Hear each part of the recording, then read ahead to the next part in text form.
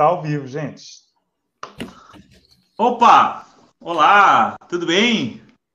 É, estamos aqui no nosso nossa live uh, de hoje, de quarta-feira, às 20 horas, começando aqui. É, já é a nossa terceira ou quarta live do nosso canal, Fórum Conan o Bárbaro. E então estamos aqui começando essa, esse, esse bate-papo com a presença do meu amigo, meu companheiro de lives, o Ronan, e com a presença do nosso convidado de hoje, o professor, né, professor em literatura comparada, não sei se eu estou certo, é o professor Alexander Meirelles da Silva. Então é. vamos vamos fazer aqui uma. O Ronan vai, vai falar um pouco mais da, né, do currículo do professor e vamos começar então o nosso bate-papo. Antes de, antes de entrar propriamente disso né, no currículo do nosso querido Alex aqui, né, a gente já até agradece a presença, mas é, eu quero dar aqui alguns recados básicos, né, gente, é que a, a, página Fórum, além da página no Facebook, ela também tem um canal no YouTube. Então, quem ainda não conhece, vai lá no YouTube, pesquisa lá Fórum Kona, se inscreva, né? Faça parte, tá?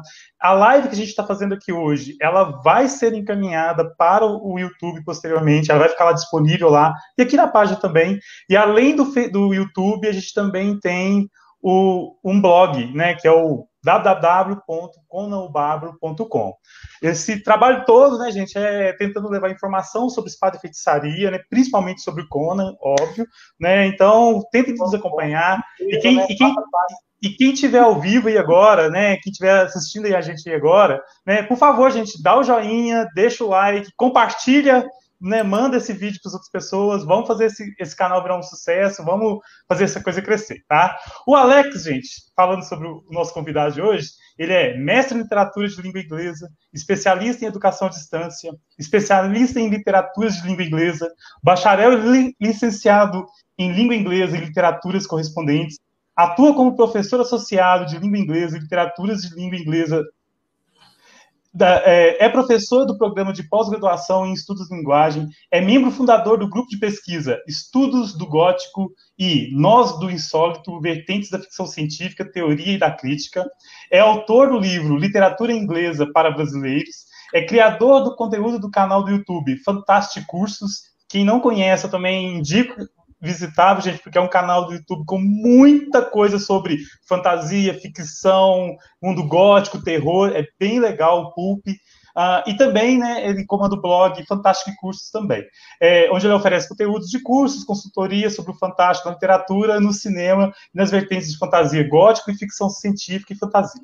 Eu não poderia deixar de começar isso aqui, Alex, falando assim, olha, e aí, Alex, tudo fantástico com você? Tudo fantástico, tudo fantástico. Gente, uma boa noite. Obrigado aí pelo, pela apresentação. Nem precisava disso tudo aí. Prazer estar aqui conversando com fãs, né, com os apaixonados desse universo do Conan, do Robert. Howard, da espada de feitiçaria, da fantasia em geral. Estamos aí para bater um bate-papo. Gente, não vai ser, pode, relax, não vai ser palestra não, porque não, aqui vai ser o um bate-papo tá regada a cerveja, olha ali, ó, o colar já na cerveja. Então, é que, é, como, é, um, como é o nosso, nosso canal é de um bárbaro, eu não tenho como não tomar uma cerveja. Aqui, aqui tudo é amadorismo total. A gente tá indo com a cara e a coragem e um coração do tamanho do mundo, que por sinal, né, é uma referência ao nome do filme do Howard que, que veio aqui pro Brasil. Mas a uh, Alex, fala pra gente aqui, como é que começou sua relação com literatura, no geral, não só sobre fantasia? Como é que você aprendeu a ser apaixonado por fantasia? E, obviamente, né, dá um parênteses maior para a gente aí sobre o Conan. Como é que, como é que foi o seu contato com o Conan? Gente, inclusive também eu não estou aberto aqui, eu estou aberto, mas está em, tá em silêncio aqui a, o, a página daqui, tá? Então, se tiver alguma pergunta do pessoal assistindo, então é só, é só falar, tá? Na que hora. a gente vai, vai falando. O, bom, é, a verdade é o seguinte: eu faço parte dessa geração, da, dessa geração dos anos 80, né? Eu, sou, eu, eu nasci nos anos 70, então quando chegou nos anos 80, ou esse mítico anos 80 daí, de várias produções, produções de blockbusters e tudo mais, a era de George Lucas, Steven Spielberg, de, da, da própria chegada do Conan ao cinema, Né? Então, a minha relação com, com, a literatura, principalmente a literatura fantástica, começa aí, né? Eu cresci vendo muito filme de Godzilla no SBT, né? Porque o SBT passava muito filme disso. Também cresci assistindo os filmes de vampiros do Christopher, Christopher Lee, né? O que imortalizou, imortalizou, esse personagem junto com o Peter Cushing. Também passava muito no SBT. Sessão da tarde. Quando sessão da tarde era sessão da tarde, não ficava passando filme de filme choroso aí de, de gente doente, gente doente, casal doente, da moça doente, vai morrer no final. Na época, eu, eu, eu sou da época de Sessão da Tarde que passava Conan, cortava oh, cabeça na Sessão da cara, Tarde. Eu lembro de ver na Sessão da Tarde Robocop, cara, que tem uma cena de assassinato violentíssima. E eu vi isso na Sessão da Tarde, que absurdo. Exatamente. Nessa época da Sessão de... Robocop, Conan, Feitiço de Áquila, é... Curtindo a Vida Doidado. A Nossa, Lenda. A, a Lenda. lenda. Bom, Quantas vezes lenda. passou a Lenda com Tom Cruise, é, né? Cru, Cru também. Mercenários das Galáxias. A estrelinha, né? Mercenários das Galáxias também. Então, isso tudo aí. Então, o meu, meu contato já começou daí, né? De, em termos literários, de literatura, é, a obra que me fisgou para esse universo de literatura foi o 20 Mil Léguas Submarinas do Júlio Verne, né? Uhum. E a partir daí foi embora, né? Então é, eu, eu, eu, também eu sempre fui fascinado por todas essas vertentes da fantasia. Isso está até refletido hoje no canal Fantástico Cursos, né? Lá no YouTube. Eu ah, falo da fantasia, do gótico, do horror, da ficção científica, porque é, isso já, já tem a ver até com, com, com a questão da, das minhas escolhas profissionais.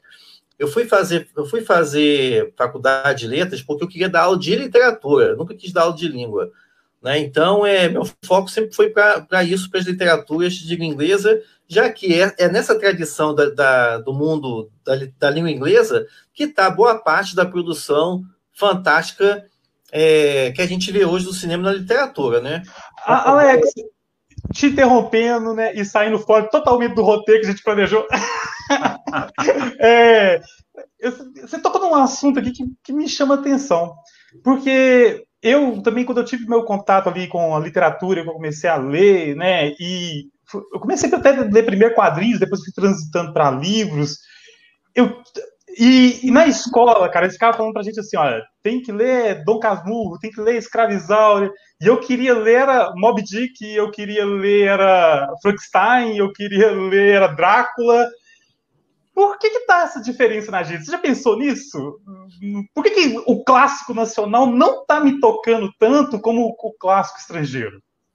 Olha, isso aí já aponta do próprio lugar do fantástico dentro da literatura brasileira, tá? Na verdade, desde que o, o a, a, literatura nacional surge, isso lá no século XIX com o romantismo, é, o, houve uma opção da literatura nacional por seguir por um caminho mais realista nesse uhum. processo assim de querer ser um país sério, entendeu? Então, e nesse, nesse processo daí, acabou jogando para as margens, e nesse, quando fala aqui para marginalidade, marginalidade de margens, toda a literatura é fantástica, né? Ou seja, eles falavam, na época se dizia que ficar repetindo histórias de, de góticas, histórias sobrenaturais, isso aí não serve um propósito de construção de uma, de uma identidade nacional e tudo mais.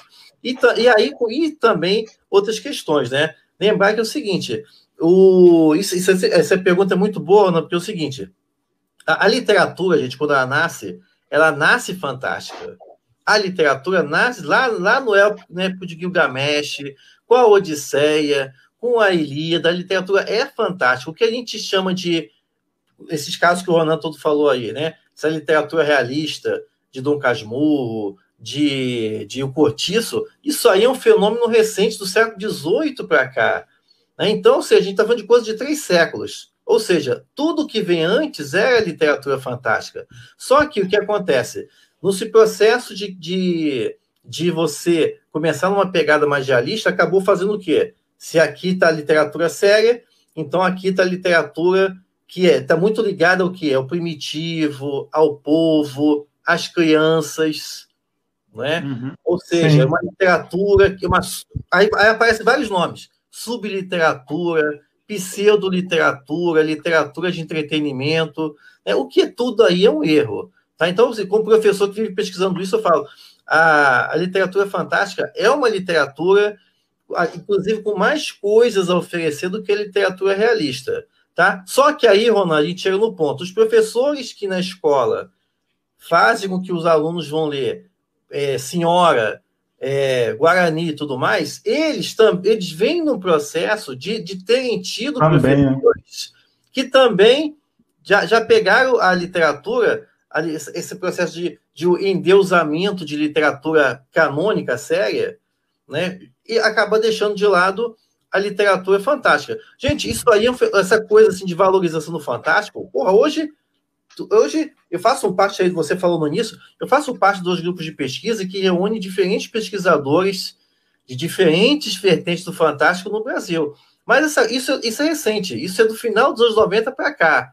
Nos anos 90 eu sofri horrores na UERJ para poder pesquisar literatura fantástica. Tinha professor que falava na minha cara que isso não era literatura séria. eu ouvi isso enquanto criança. Não, eu, que no, quando, quando, fui, no, no, quando fui fazer o mestrado em literatura de língua inglesa, eu fui da primeira turma da UERJ, é, eu, eu, fui falar de distopia. Né? E aí eu tive que adequar a, a minha, minha, minha vontade de falar de coisas fantásticas dentro das linhas de pesquisa que, que, obviamente, não tinha nenhuma linha de pesquisa ligada ao fantástico, né? Mas tinha uma lá que falava mulher e o lugar do outro, a linha de pesquisa, eu consegui enfiar ali para falar de... Foi até sobre a história da Aya, da Margaret Atwood, que na uhum. época, porra, ninguém falava no Brasil. Hoje aí virou modinha, falar da, da história da Aya, do conto da Aya, né? Mas o mas foi é, nesse processo. Então, hoje que o pessoal está vivendo, já digo desde já, gente, principalmente aqui, os leitores de Conan, a gente está vivendo na melhor época para ler literatura fantástica. Nunca houve tanta oferta de qualidade e também de tanta é valorização de para poder ler fantástico, fantástico no geral. E já está emendando aí, Ronaldo, essa questão, nesse processo aí, meus, meus primeiros contatos com, com o Robert Howard e com o Conan se deu lá nos anos 80 ainda, com 10 anos, com 11 anos, 84, 85, 82, que foi o filme do Schwarzenegger, foi ali, 82 eu tinha 10 anos. Então foi daí, pô, mas ali de cara, de cara, até mesmo, porra, pela, pela presença do Schwarzenegger ali na tela, né, de, de, de, de sequência, meu primeiro contato foi ali, também, nessa época, eu já lia quadrinhos, aí eu já fui correr atrás dos quadrinhos do, do Conan, tá? com a sensacional arte do Bucema, né? E aí, daí foi, aí, obviamente, daí foi, foi a literatura.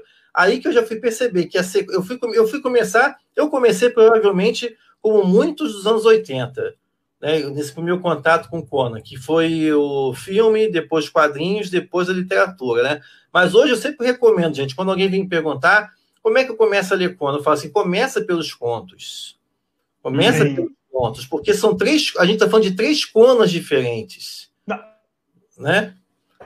De, de, de, de, começa, pelo, começa pelos contos, vai pro. E aí você escolhe, vai pro filme ou vai pro para a parte do, da, dos quadrinhos, né? Ronan congelou ali, ó. É, deu uma congelada aqui no, no Ronan. Congelou Sabe que ali. eu estava eu tava vendo, é, falando sobre essa, essa, esse, esse tópico, né, do fantástico visto pela literatura ou por, pelos intelectuais, muitas vezes é, como algo escapista, infantil, né, não não da alta literatura, não representando a alta literatura, todos esses preconceitos que existem, e não só na, na, na sua área, na minha, por exemplo, quando eu, eu disse num programa de pós-graduação que eu ia fazer, o Ronan caiu, daqui a pouco ele volta, que eu ia fazer um, um, mestrado sobre Conan, era cada um me olhando com uma cara do tipo, o que, que esse cara vai pesquisar, aquele cara de tanga? Era é, é, por sorte, eu não tinha bolsa. Acho que seria, com bolsa, acho que seria, né? Eu não tinha bolsa, até estava trabalhando, não tinha bolsa, graças a. Mas eu fico pensando, às vezes, nessa questão do, do fantástico, é, e aí entra o lado historiador. Eu fui, antes de ser historiador de Robert E. Howard, eu, eu fui historiador de história antiga, né? Então, entra muito essa coisa do do, do antiquista. Uhum. É, inclusive, estamos perguntando aqui se está ao vivo ainda, né? Vamos ver. Eu acho que tá. Eu acho que tá. Quem, quem, quem que. Tá é, que normalmente é o Ronan, mas tá, tá live aqui, ó. O Ronan caiu, mas tá live aqui, tá o, o cronômetro tá funcionando. Então acho que tá ao vivo. Mas, é, retomando, é, é, uma, é uma tradição muito forte lá na Grécia Antiga, é, essa, ou melhor, a leitura que se tem da Grécia Antiga, a cisão entre mitos e logos. Como se em algum momento lá na Grécia Antiga, com a filosofia, o logo se dis, distanciasse do mítico. Né? O logo se tornasse o oposto do mito, ou aquele que questiona o mito. E aí surge a filosofia. Hoje, a maior parte dos antiquistas, e isso já é um bom tempo para cá, já questionam muito essa questão, porque o pensamento mítico, ele muitas vezes está conjugado ao pensamento do Logos. Então, Platão faz alegorias míticas para ensinar filosofia. Tanto é que é filosofia, né? Uhum. Então, é, eu fico pensando se essa visão que se tem de longa duração histórica entre os pretensos intelectuais também não interfere junto a essa coisa da, do cientificismo, do racionalismo, que se quer realista a partir do 18. Né? O iluminismo se quer realista. E o iluminismo bebe de uma ideia de Grécia, assim como o Renascimento. Né? Eles bebem de uma ideia de Grécia. Qual é a ideia de Grécia que eles bebem? A ideia da Grécia racional. A ideia da Grécia que questiona seu, a, o selvagem, o instinto. Tanto é que o romantismo vai ser um contraponto a isso também. Mas há, é, eu fico pensando se não há essa, essa vamos dizer, essa pseudo-visão do, de Platão como aquele que renega o mito, quando ele não renega. E me parece que o que nós vemos no Fantástico, é uma opinião de leigo, mais como historiador do que um. Essa reminiscência que a gente tem do mito no Fantástico é uma coisa que nunca deixou de existir. Porque ela está presente, e às vezes até mesmo pode estar presente naquela literatura que se quer ou se pretende realista? Claro que umas mais que outras.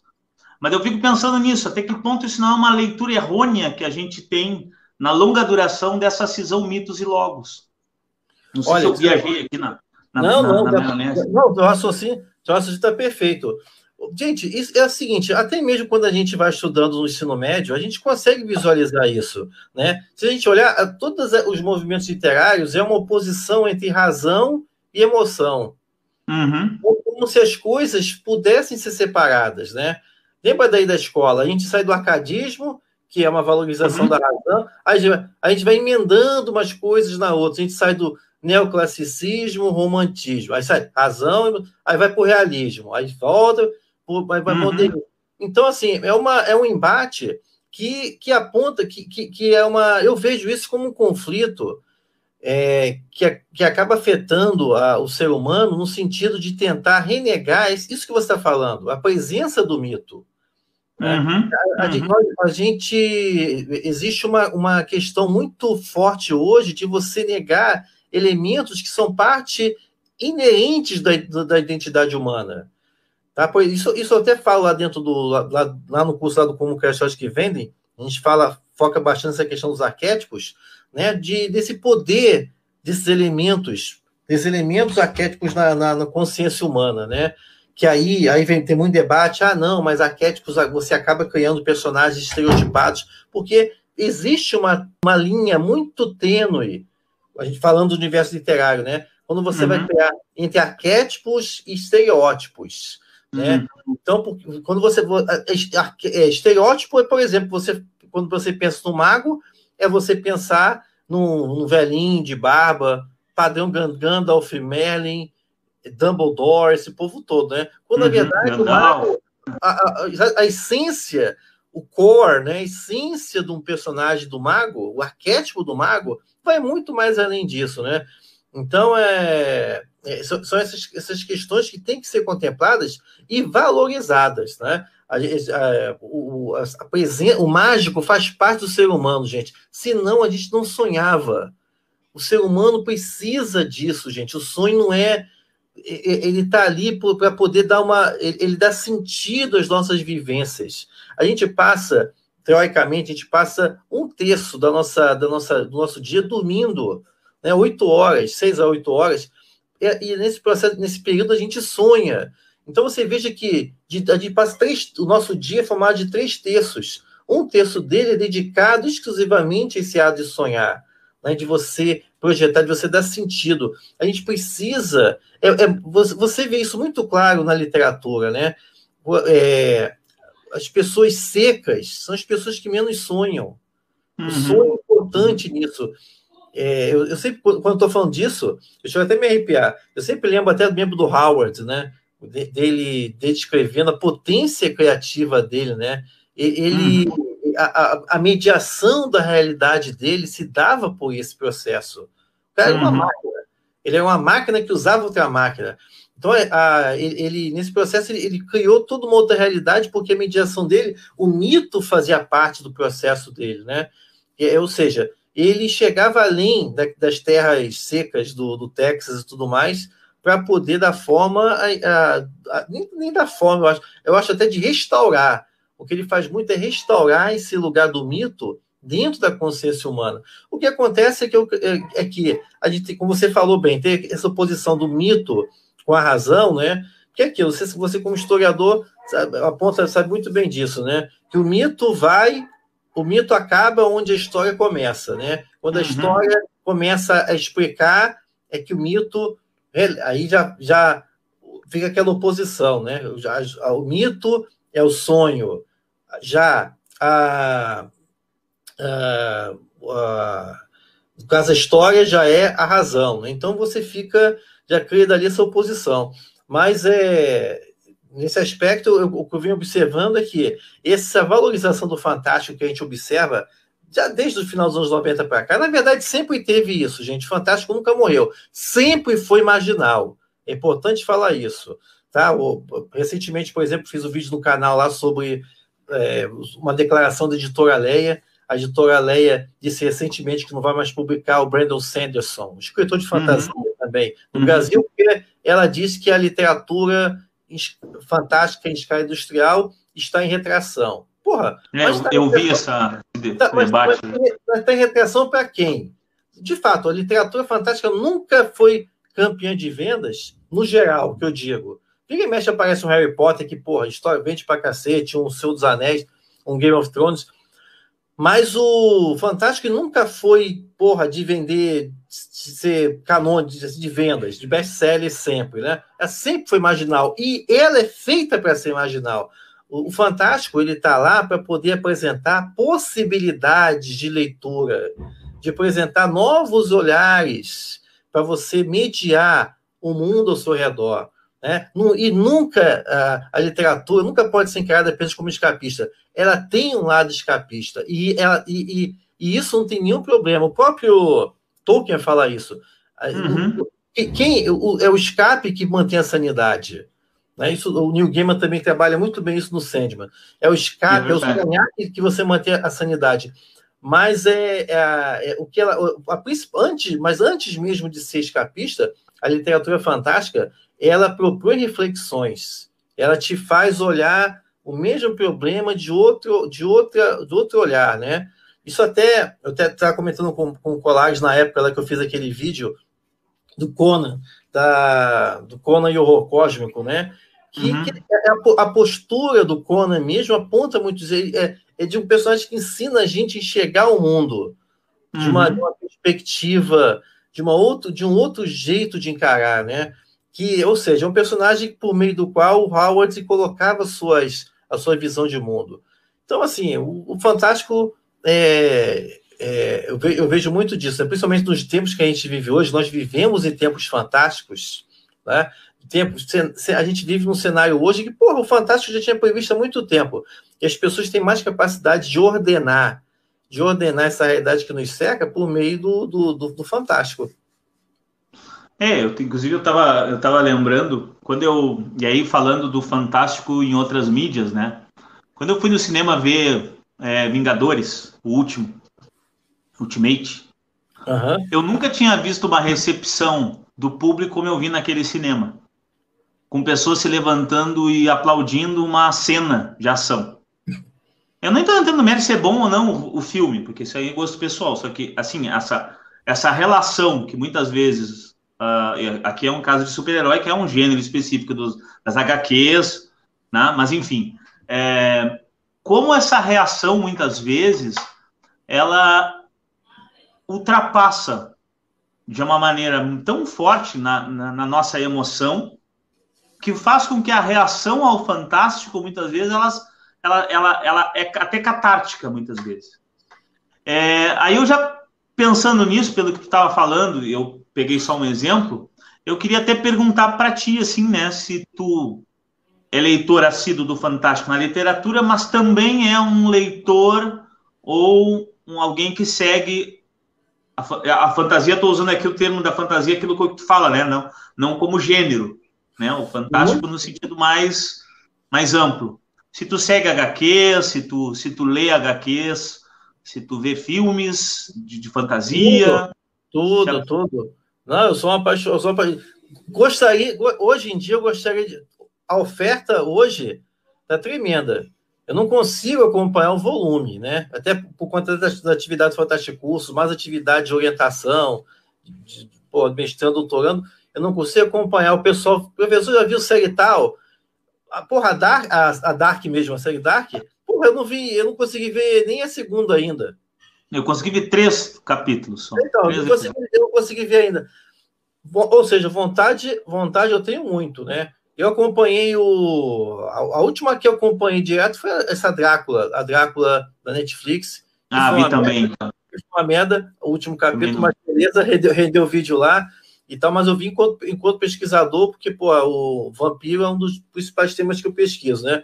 Claro, mas, assim, claro. mas, mas Para mim foi uma decepção aquele Drácula, meu Deus do céu, mas. É, não, mas assim, li, livro, filme. Pô, eu, eu adoro, eu adoro. Eu gosto, eu uma coisa até que, por exemplo, tem, tinha porra, uma pilha de livros. Como, como todo bom nerd também, eu sempre tenho mais livros que eu consigo ler. Né, então, daí, inclusive, também, é, à medida que, por exemplo, o canal, o canal vai crescendo, aí eu começo a receber assim, é, editor, foi assim: ah, você não quer fazer parceria? A gente manda o livro. Gente, aí eu, eu por exemplo, o canal, eu sempre falo, o canal Fantástico Curso nunca fez parceria. Eu acho que nunca vai fazer com nenhuma, com nenhuma é, editora, por quê? Porque eu, eu, eu não consigo ler os livros na velocidade que as pessoas me mandariam para poder uhum. fazer vídeo sobre aquilo. Eu sempre falo, gente, quer mandar o livro? Fala. Eu, eu, manda. Quando puder, eu faço o vídeo, tá? Mas, assim, eu, eu sei que tem gente aí, tem muito booktube aí, o pessoal chama isso booktube, né? Tem gente que vive disso para de, de eles tem parceria, faz parceria, a editora manda livro, aí eles vão lá e faz. Porra, eu não consigo ler nessa velocidade, né? Tem, tem uma porrada de coisa na frente. Então, eu já falo, eu não faço. É, quiser mandar, beleza, eu faço. Eventualmente eu leio e faço os vídeos. Lá tem vídeos lá que eu dou dica de livro. Obviamente, quando, quando é livro que eu fiz prefácio, aí eu falo, eu falo também, até porque, por causa do meu trabalho lá também, né? Mas uhum. é, é, muito, é muito complicado nesse ritmo. Mas mas sim, Colares, eu tento, eu, porra, como todo bom nerd, o meu maior prazer é sentar na frente da TV com meus filhos ali para poder. Eu tô, eu, tô me, eu tô me esforçando, eu tô, eu tô me esforçando para poder fazer isso. Quando é 8 horas da noite, de lá, você tá com eles. Eu adoro ver aquele programa lá do History Channel lá de fazer espada lá, esqueci o nome, que o povo faz espada. É... Eu já vi um programa que eles competem, né? pede para fazer. Eu, me amarro, eu me amarro é. naquilo ali. Eu me amarro naquilo ali. É. Aquilo ali é só porrada. Eu sempre lembro aquela medieval de cor nessas coisas. Eu, eu gosto de ver coisas assim. Então, de e filme, e filmes também, né? De, mas é muito volume. Muito... O último que eu vi, por exemplo, até para matar saudade, foi até o Jazão e os Argonautas, que entrou no catálogo da Netflix. Eu sou um fãzaço do rei Harryhausen. Eu fiz até uhum. lá no canal Fantástico para isso, né? Então, assim, eu, eu tento ver. E, e você falou das vertentes, eu, eu, eu esse, até meu relacionamento com a fantasia, com o gótico, a ficção científica, porque, por exemplo, normalmente, principalmente no meio acadêmico, as pessoas se especializam num, num campo. Ou é uhum. fantasia, ou é gótico, é ficção científica. Eu acabo dialogando com tudo, por quê? Porque eu trabalhei muito tempo em universidade é, particular, e aí tinha muito aluno que, que vinha querendo pesquisar e não, e não tinha. Não, até hoje tem poucos. Poucos professores que acolhem, é, te, por exemplo, TCC para fazer TCC de, pô, quero fazer de vampiro, o outro professor quer fazer de ficção científica, quero fazer de, de Tolkien, quero fazer de, de Conan. Então, é... E, e, não tinha professor. E aí eu ficava com muita pena com isso, e como eu sempre fui apaixonado, eu acolhia todo mundo.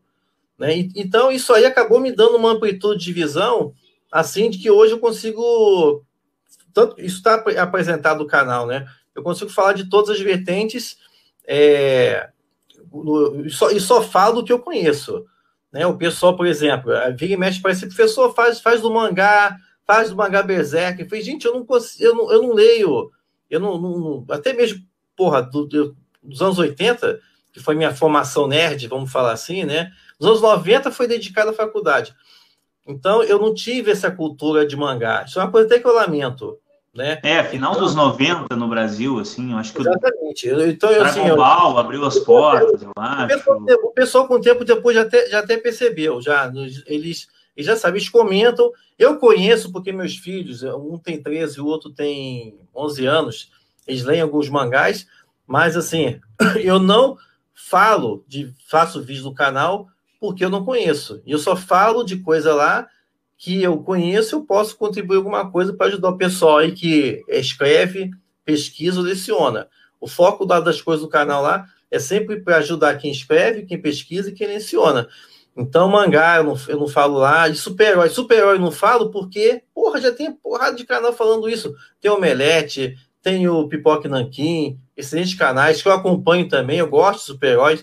Você falou disso, eu sou, tenho várias de, de de. Eu era, eu era comprador assíduo das revistas de tanto DC quanto Marvel. Eu sou de uma época que não tinha essa rixa de Marvel e DC. Tudo é de tudo é tudo. Do, é, do entre nós fãs a gente de é, tudo, não tinha essa coisa de ficar. Ah, hoje, hoje, em dia, hoje, em dia, hoje em dia, quando eu leio, eu leio mais é nesse formato encadernado. Né? Mas, uhum, então, eu também. Tá até ali embaixo ali. Então, o Reino do Amanhã, eu tenho, eu tenho essas. Eu mantive essas mais antigas. As formatinhos, os formatinhos eu acabei deixando no Rio de Janeiro. Quando eu vim para Goiás, eu deixei lá. Eu doei tudo para um amigo meu que eu sabia que ia cuidar bem, né? E quase chorou de alegria lá na época. Eu fui lá, de coleções de, de Marvel DC, de formato de bizinho da de editora Abril, né? Então eu trouxe, eu trouxe, eu trouxe as graphic novels é, para cá e eu, eu, eu comprava, ainda compro vira e mexe revistas. É que depois eu fui notando que a própria qualidade das histórias de super-heróis, porra, mas ficou uma repetição danada. Porra, é, sempre teve isso, mas lança a história aqui, você tem que comprar mais três para entender o final. Pô, então assim, aí foi. Eu, aí juntou o negócio que faltou tempo, falta tempo também, foi assim, a gente tem que priorizar. Então uhum. aí eu fui parando de comprar mais revistas. Só que eu tenho uma coisa muito especial que eu compro. Eu gosto, eu gosto muito do, do, do Shazam. Shazam é meu, hum. meu personagem. Já até fiz vídeo no canal lá. Shazam é meu Ah, é? Com Shazam? É, meu super-herói predileto. Olha só. Eu queria lhe aproveitar e perguntar, então, uma... até porque tu comentasse, né? Existem três Conans, pensando em Conan especificamente, que afinal existem três Conans diferentes, né? O da literatura, o do cinema e deve ser dos quadrinhos, imagino é, na, tua, né, na tua leitura. Qual a diferença, na tua opinião? Assim, o que que tu vê especificamente que o Conan tem de Robert De Howard e que talvez não tenha nas outras duas mídias ou outras coisas que tem lá? Assim? Ah, você, quando eu até falo para o pessoal para começar pelos contos, é por conta da, é da visão de mundo. É a visão de mundo do uma, uma inteligência áspera, uhum forjada por uma realidade dura que está presente nos contos, né? no, no conto do no, no, na, pela boca do Conan. Né? Então a, a, visão de mundo é uma sapiência, uma sapiência que, por exemplo, você pega contos do Conan como uma Cidadela Escarlate, né? que já é um Conan das, das antigas lá, um, todo um questionamento que ele faz junto a reis, o que, que é ser um rei? Porra, tu é rei, uhum. tu, herdou, tu herdou isso aí do teu, do teu pai, tu não é nem nada, tu, tu recebesse uma bombeira. Então, todo um questionamento, assim, de. Que, não, que lógico, até mesmo. Eu não estou falando que é melhor ou pior, mas, uhum. por exemplo, não está no filme. Né? O cinema, ainda mais temos nos anos 80, é tiro, porra de bomba. É tiro, porra de bomba. Então, você tinha, assim, nuances no, no, no, no filme de Schwarzenegger. Mas é lógico que ali o negócio é, até mesmo para aproveitar a presença dele, é, né? Ali já era, porra, é porrada, porrada direto, né? Mas é. Então, nesse aspecto, assim, é um, no, caso do filme, é um Conan mais visceral. Visceral uhum. no sentido de, de, físico, né? De, é, aquela, é uma máquina. É uma máquina. No, já na, no, no, da literatura, é um Conan guerreiro. É um guerreiro, assim, ele sabe quando, quando fazer, ele sabe a posição dele, ele sabe quando usar. Isso a gente observa observa no próprio desenvolvimento dele, né? Se você pega o Conan lá da Torre do, Elef da, da Torre do Elefante, não é o Conan lá do, da Cidadela Escarlate, da, ou então da, é, é diferente. Né? Então você vê da, da, ousadia até a sapiência nesse processo aí, né? E o, e o Conan da o Conan dos quadrinhos também, até mesmo como ele é voltado já é, é visual, eu percebo assim que ele acaba mesclando um pouquinho dos dois.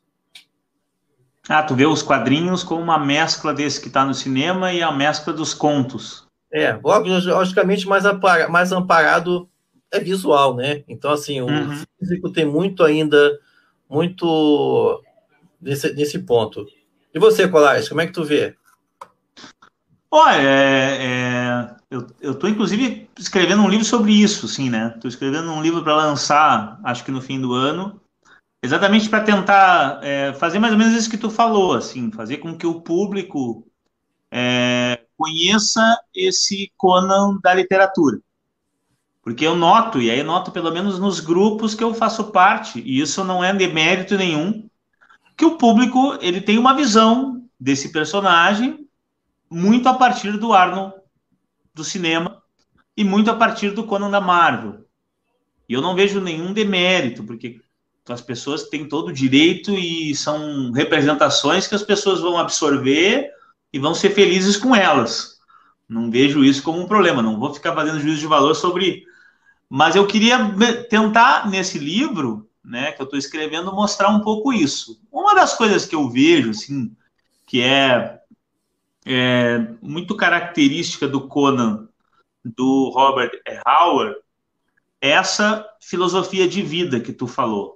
Tá?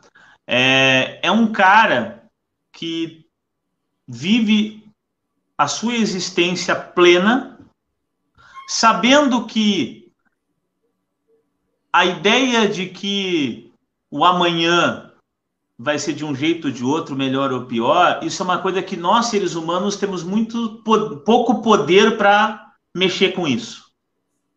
Então é um cara que tem uma sabedoria de vida a partir do sujeito que vivencia e vive o presente e sobrevive num mundo muito difícil de sobreviver. E a partir dessa ideia de filosofia que ele tem de vida, ele concebe o mundo do além. Porque se eu vivo um instante, se eu sou o sujeito que erra pelos ermos e vou tentar aproveitar o máximo que tem, inclusive vou vivenciar o que tem de melhor e o que tem de pior. Sabendo que o pior vai acontecer. Não lembra que o Howard sempre fala, o Conan é um sujeito que vive entre a alegria e a melancolia. É uma coisa muito própria dele, né? Muito própria uhum. do autor. Talvez o Howard fosse, talvez não, isso é, é os biólogos ele é um cara muito melancólico, mas ao mesmo tempo é um cara que tem algumas fotos de roupa de bárbaro, brincando com os amigos, tomando cerveja, ou seja, é um cara que também cuida da mãe, vive num Texas é, muito violento. Oh, o Ronan voltou. Voltou. Onde vocês foram, gente? Vocês sumiram. Foi o computador, é. Ronan? Nossa, travou geral aqui, cara. Que confusão. Agora soltou. Voltou Não, mas os, os espectadores entendem. Isso aí, isso em live é normal, né? É. Mas, é mas eu tava falando aqui, Ronan, do, do que eu acho do Conan do, do, do Howard, né? Então eu vejo que é um cara que o Howard consegue expressar um pouco essa cosmovisão dele, pessoal e de mundo nesse personagem e outros personagens também. de certa maneira, todos os personagens do Howard têm um pouco disso. Por exemplo, o boxeador dele, o Steve Costigan, ele tem muito dele também. Muito desse cara que vive porto em porto, achando uma, um adversário para enfrentar, para tentar enfrentar a diversidade e vencer a diversidade. É, é um cara que vive num Texas dos anos 20 com um certo otimismo e nos anos 30 com todo o pessimismo diante da crise de 29. É um cara que vive essa ambivalência entre a alegria e a tristeza. É um cara que cuida da mãe. E o pai se ausenta o tempo todo. Então, me parece que essa experiência de vida e essa cosmovisão que ele tem deixa esse Conan dele diferente de qualquer outro autor. Acho um personagem, na minha opinião, talvez todos sejam, mas esse personagem, talvez outros também, mais ou menos, ele é muito autoral.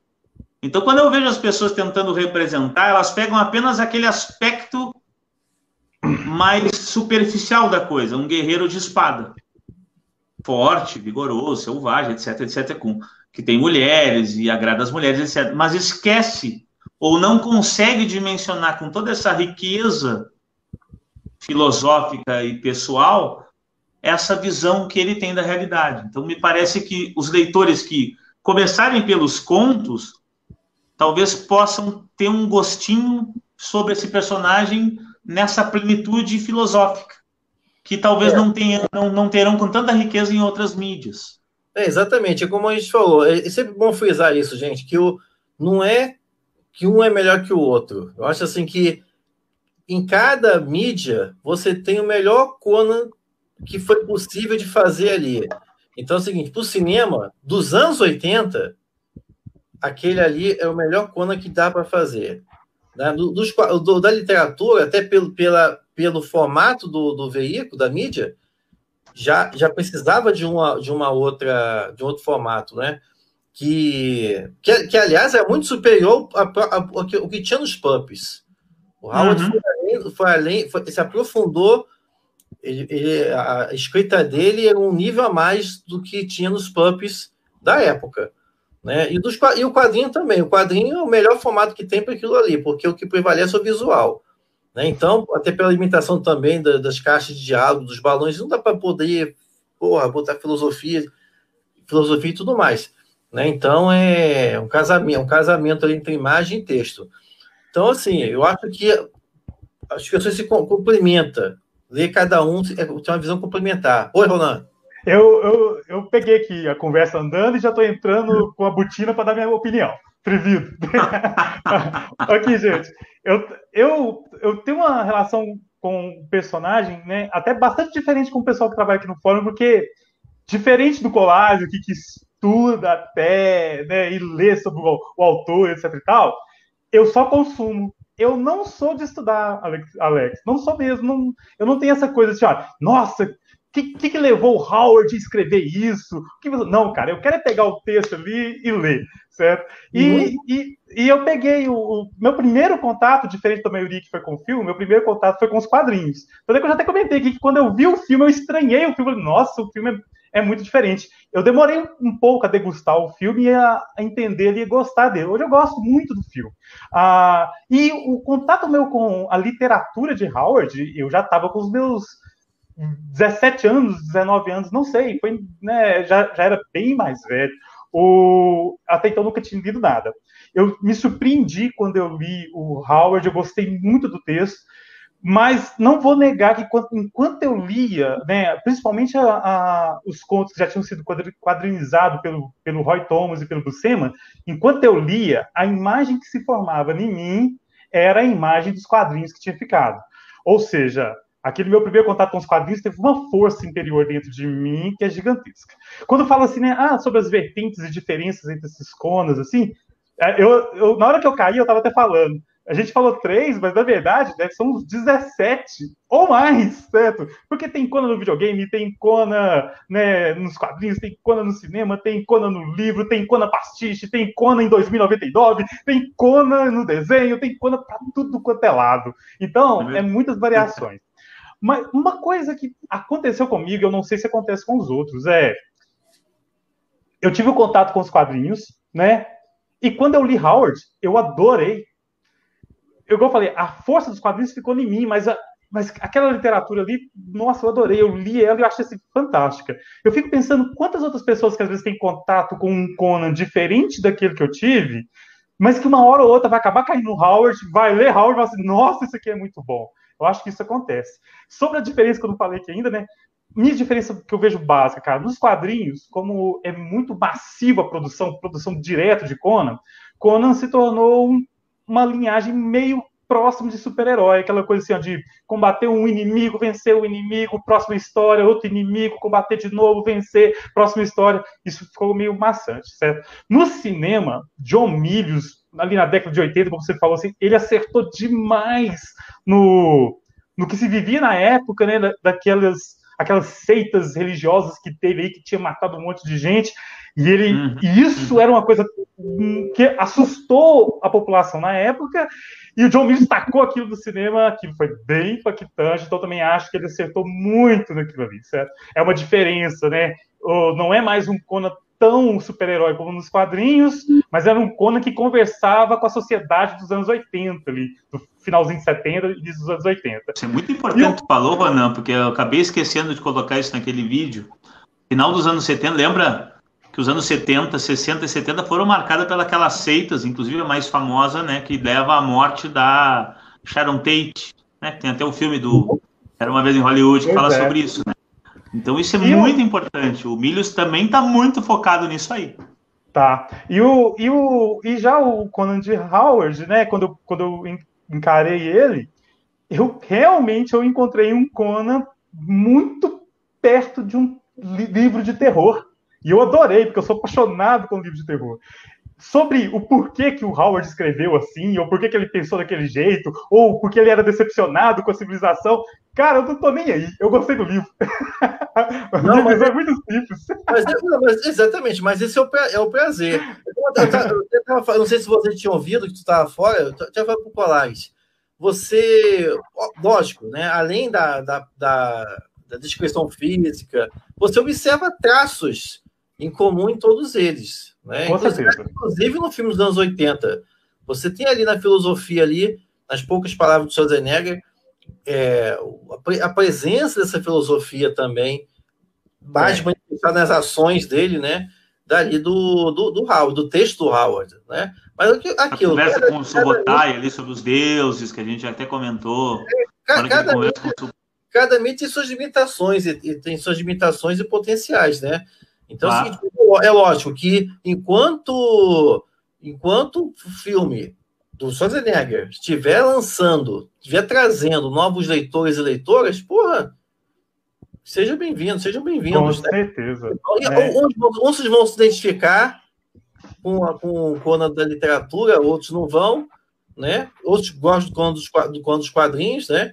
Que é mais, é mais, a, é mais o super-herói, tanto que ele é, é integrado aí no presente, dos Vingadores, tudo, porra, o Diabo, Diabo 4, ou seja, ali é, é o produto Conan. É o Conan uhum. Bota que vende. Bota Exatamente, que vende. é o produto. Não é, não é, não é, um veículo. Ele não é, na literatura já é um veículo das palavras do, do, da filosofia do Howard, né? Agora, no, nos quadrinhos é o, o Conan produto. Né? Então, por isso, isso, isso, isso é manifestado até nas licenças, né? das licenças. Você, você, não pode, porra, né? Porque, ah, porque vamos publicar, quero publicar a história do Conan. Não. É, é um produto que rende, rende muito dinheiro, por isso que tá lá na Marvel, cuidado com a Marvel. Então, são, são é nesse sentido que eu falo até de personagens diferentes, né? Tem pergunta aí, gente? O povo está tá uma coisa. Tem, nós temos uma pergunta de um, um amigo nosso em comum, que é do Robilan. Não é isso? Rubilan, Rubilan apaixonado pelo. Apaixon... Inclusive, apaixonado. Eu, eu li um conto dele, um conto que ele me passou, é um conto policial, que começava com um conto policial, assim, eu achei, tá, um conto de detetive, legal. Gostei do tom, e quando vê, apareceu uma coisa Lovecraftiana lá, que eu gostei muito, assim, do conto, até elogiei. Eu só estou procurando a pergunta dele. Quando Não, eu tô com uma. O Rubilan é fã também do Berserk, lá do. A gente tá falando de mangá. Ele é fãzaço de Berserk também. Eu tô com uma pergunta aqui, ó, que tá na ponta da agulha, que tá, tá até dentro do que a gente já tinha pensado. Né? Já, já que é para perguntar mesmo, eu vou nessa. Uma vez eu li que o Hobbit se encaixava no subgênero espada e feitiçaria. Essa é mesmo, essa mesmo. Oh, eu vou, antes de, antes de falar, deixar você responder aqui para a gente, Alex, eu queria. Esse debate foi forte aqui na página outro dia. Eu estava fazendo uma, um, um, texto sobre Senhor, alguma coisa do Senhor dos Anéis, né? E eu fiz, eu fiz, fui eu, eu mesmo, meu minho, fiz uma distinção de que, né, a, o, o Senhor dos Anéis pendia mais para fantasia, enquanto que o, o, o Conan era mais espada e feitiçaria. E nisso choveu um monte de gente falando assim: olha, não, Senhor dos Anéis é espada e feitiçaria, Senhor dos Anéis é espada e feitiçaria, Senhor dos Anéis é espada e feitiçaria. E deu alta discussão. O que, que, que, você pode falar para a gente sobre isso, Alex? Olha, gente, isso aí, é, isso é, eu sempre gosto de falar isso, sou muito preocupado com isso, que é, é, é não, a, a, gente não fica muito preocupado em restringir. A uhum. gente tem que se preocupar é, é de até mesmo de atravessar essas fronteiras, tá? Uhum. Principalmente, por exemplo, a gente que vai escrever, eu, eu, conheço muita gente que quer escrever que fica, fica, fica paralisado porque ele já fica preocupado onde é que vai se encaixar, se é fantasia urbana, se é, se é alta fantasia, se é baixa fantasia, se é, se é espada e feitiçaria, né? Então, gente... Tem um, tem um, tal, de, tem um tal de Dark Fantasy também agora que está é, aparecendo, né? No Brasil, no Brasil traduzir como fantasia, fantasia sombria. Né? acaba, acaba tendo ponto de contato com fantasia urbana. Mas é, é, é gente, então relax, tá? Essa, essas coisas são muito complicadas. Como boa parte do Fantástico, não existe definições específicas. Vamos lembrar, gente, definição, a própria palavra já fala, é você estabelecer um fim. Quando você uhum. bota um fim em algo, você já deixa uma porrada de, de opções de fora. Você lança a luz em algo, joga as outras ficam nas sombras. Então, por exemplo, esse caso você falou aí da Dota Fantasia e tal. Fantasia, no geral, aí já começa as preocupações, as, as complicações. A fantasia, ela é isso diferente de teóricos, é o Lynn Carter, por exemplo, e tal, o próprio Tolkien. Então, a fantasia, ela sempre se constitui, é, ela é, normalmente ela aparece a presença de um segundo mundo, de um mundo chamado mundo secundário. Aí já, olha, como, é, olha como é, já começa as confusões. É um mundo secundário onde esse mundo secundário é regido por leis que se diferem do da nossa realidade ordinária, né? É, eu posso botar realidade porque pô, só essa discussão do que é realidade já é complicada, né? Então, ou seja, fantasias são narrativas normalmente ambientadas em mundos secundários onde elementos sobrenaturais são parte integrantes da realidade, a ponto dos personagens daquela realidade não questionarem a existência desses elementos. Né? Aquela coisa de, de. Uma coisa que eu sempre falo: qual é a diferença de fantasia e ficção científica? É, é, é o mesmo caso. Tem, tem uma mulher, tem um cara sentado numa praça lendo jornal. Se passa uma mulher voando com asas de borboleta, e ele fala: Ah, tá na época ah, já, mas já está nessa época do ano das mulheres borboleta, dessa vez a estação do ano passou rápido. Ou seja, ele não, ele não acha estranho. Ele não acha estranho passar uma mulher com asas de borboleta. Por quê? Porque isso é uma história de fantasia. É parte inerente daquele mundo ter mulheres, ter pessoas que ganham asas, asas de borboleta em alguma época do ano. Agora, se esse personagem está lendo o jornal e aí passa uma borboleta e fala assim: olha, tá vendo? O acidente, o acidente radioativo realmente, como diz aqui no jornal, está afetando as pessoas, as pessoas estão virando mutante e tal. Então aí já é ficção científica, porque você tem uma, uma nem que seja uma pseudo, pseudo, um pseudo vernizinho científico, por mais estapafúrdio que seja, para poder explicar a existência daquele elemento fantástico. Aí já é ficção científica. Agora, nesse caso da fantasia, o que, que é complicado? Eu até, eu até fiz um vídeo disso no canal sobre sobre. É, eu acho que foi alta fantasia e baixa fantasia. E eu, eu cito o Conan lá, que, que é, o caso é complicado, porque, por exemplo, o Tolkien, o Tolkien, ele, é, ele, ele, mesmo fala que o mundo da Terra-média é o nosso mundo. Ele fala uhum. isso. Né? Uhum. Ou seja, se é o nosso mundo, então já não é o mundo saiu, secundário. Saiu do, do conceito do mundo secundário. secundário. Não é? Pô, é mundo secundário? Harry Potter é mundo secundário. Porque você atravessa e vai lá e entra na estação, e entra na estação, e tem que passar por estação mágica e vai para lá. e vai, né? Tem os pontos de contato também. Mundo... The Witcher né? é mundo é. secundário é, que a gente vê, secundário. The Witcher. Exatamente. Tem três, Game of Thrones secundário. Tem três, tipos de mundos secundários. Tem mundo secundário que já é totalmente. Você não vê nem menção ao nosso mundo, tipo Game of Thrones. Uhum. Game of Thrones é esse mundo aí que você não tem nenhuma conexão. É tipo também a, o Discworld lá do Terry Pratchett, que é, porra, o mundo é numa casca de uma tartaruga, terra plana. É o único lugar onde terra plana faz sentido. É, no, é na fantasia do Terry Pratchett. o, a, segu, a segundo tipo de, de, de, mundo secundário, o mundo secundário é esse de passagem. Da passagem, né? Você está aqui, você, você, você atravessa, né? Meu Deus, qual é o terceiro tipo? O terceiro tipo Agora não estou lembrando o que, que é, eu tenho que olhar lá o vídeo de novo para poder relembrar. Mas as complicações, o que, que é? Alguns mundos secundários são muito nítidos. Você, igual a Crônica de Nárnia, porra, tu entra lá no guarda-roupa, tu já sai lá no mundo, beleza.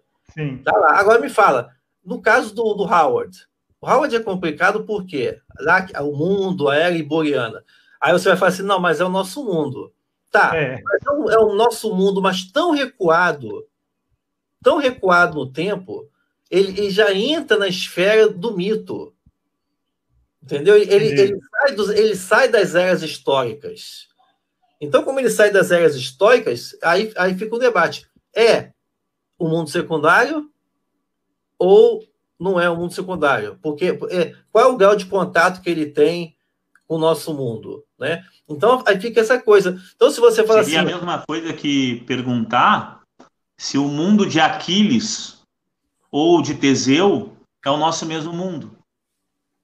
O mundo de Teseu, pegando o mito de Teseu, é um mundo em que todos sabem que existe um minotauro que está na ilha de Creta e que devora a cada ano as dez virgens que o continente tem que entregar lá para o Minotauro. E está num passado remoto, sem datação. Porque o mito não tem preocupação com datas, normalmente. Era uma vez, um passado distante. Até que ponto isso é o nosso mundo e é o mundo secundário? Exatamente. Esse debate. Então, a mesma coisa do, do da Iboriana, essa discussão aí, normalmente, Ronaldo, é o seguinte: normalmente o Tolkien é considerado alta fantasia. O que, que é? Lembrando, gente, alta fantasia e baixa fantasia não quer dizer que um é melhor que o outro. Tá? Sim. É, o termo é alta fantasia porque, porra, é, é fantasia louca. Fantasia louca, assim, no sentido é 100% imaginação. É, é, é, mago, é dragão, é tem todo mundo orquestrado para aquilo ali. Isso é alta fantasia. Baixa fantasia, normalmente é fantasia que tem a, a, a magia é mais é, a é magia mais mais controlada. Ela, ela, a presença dela é menor. Tipo mais Game ritualística, né? É, exatamente. Game of Thrones. Game of Thrones é, é, mais, é baixa fantasia. Por quê? ela a, a, é mais controlada a presença da magia e também a Baixa Fantasia tem mais ponto de contato com a nossa realidade. Ela, ela traz uns temas, ela traz uns temas muito, muito ligados à nossa realidade. A Alta Fantasia não tem comprometimento com isso.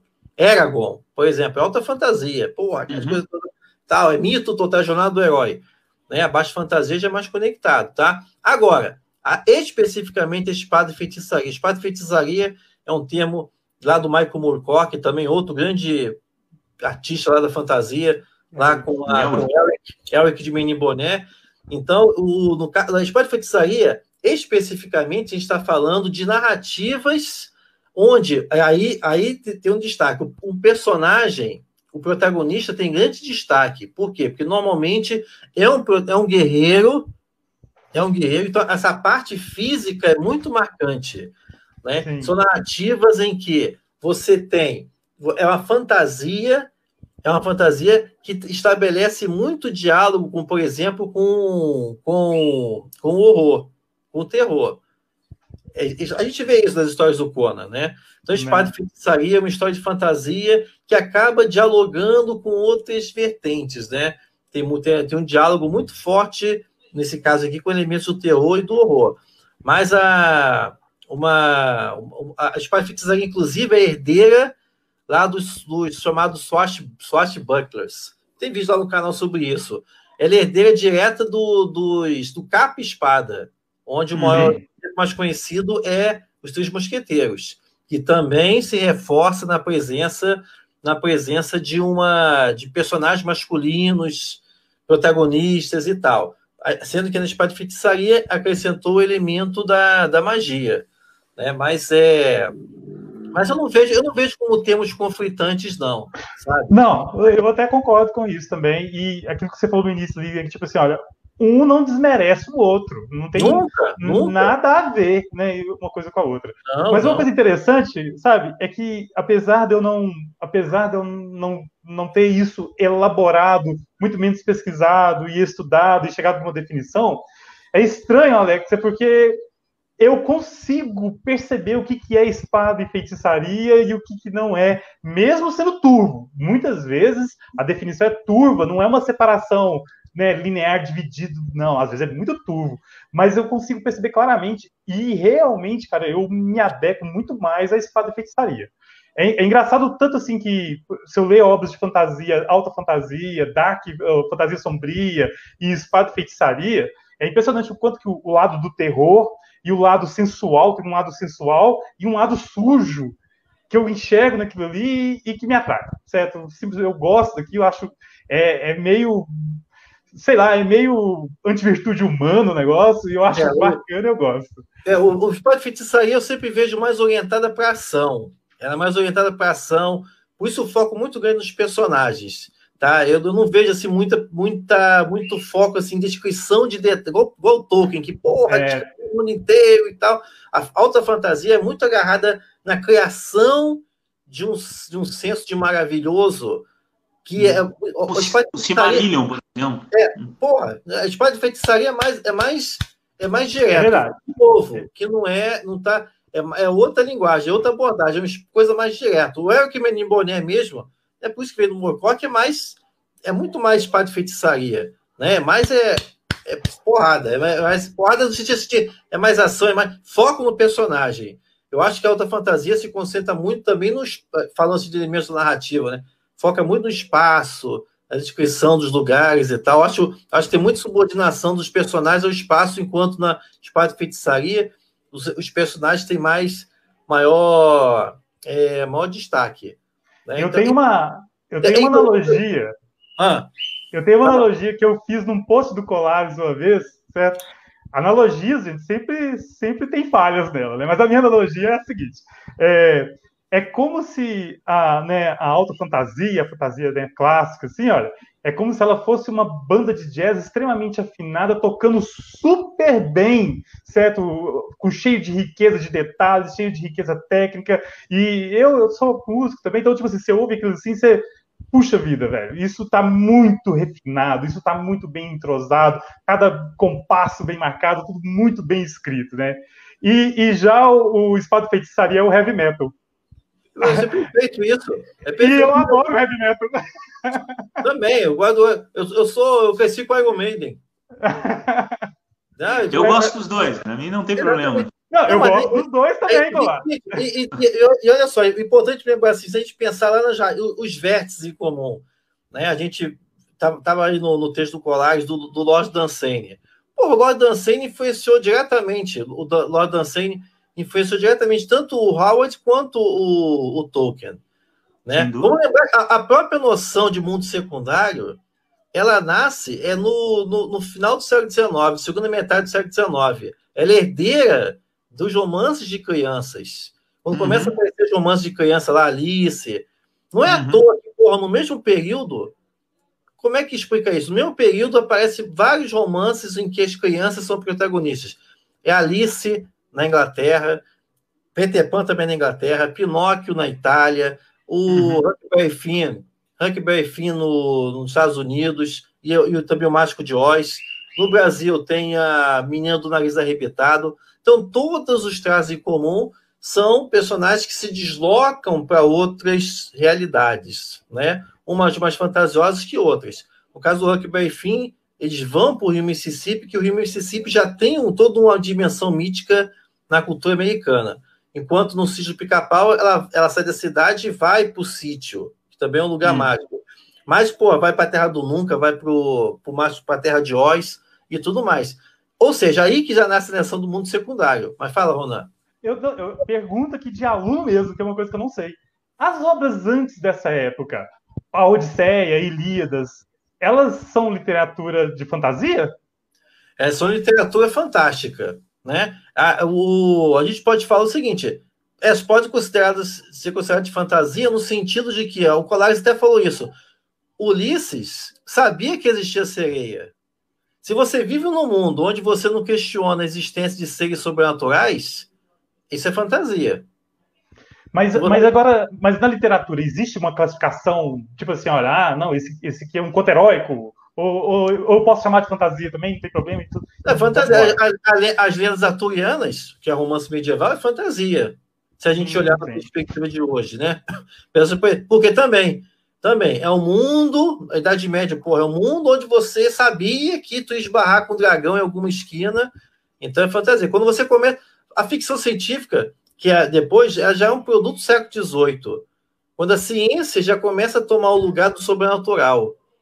Né? O gótico também já vai, já vai nessa pegada também, né? O gótico é uma reafirmação de que as luzes do racionalismo não conseguem abarcar as trevas que estão no, no, mundo e no próprio ser humano.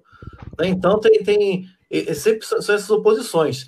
Essas grandes oposições. Mas a gente está falando do, do segundo, do, da, desse nascimento do mundo secundário, e aí, com a, com a própria Revolução Industrial, a Revolução Industrial, uma cidade como Londres, toda suja, toda poluída, não tem condições de ter fantasia rolando no mundo desse. É por isso que surgem os mundos secundários. Acho que não, fada não aguenta viver na poluição de Londres, da Londres vitoriana, não. Então tem que ir para a Terra Nunca e tal. Então é nesse contexto aí que a gente vai ver nascer a fantasia moderna, que uhum. começa com William Morris uhum. e também com o George, Mac, George MacDonald, lá com a Princesa Goblin, com, é, com, com, com, com outras obras.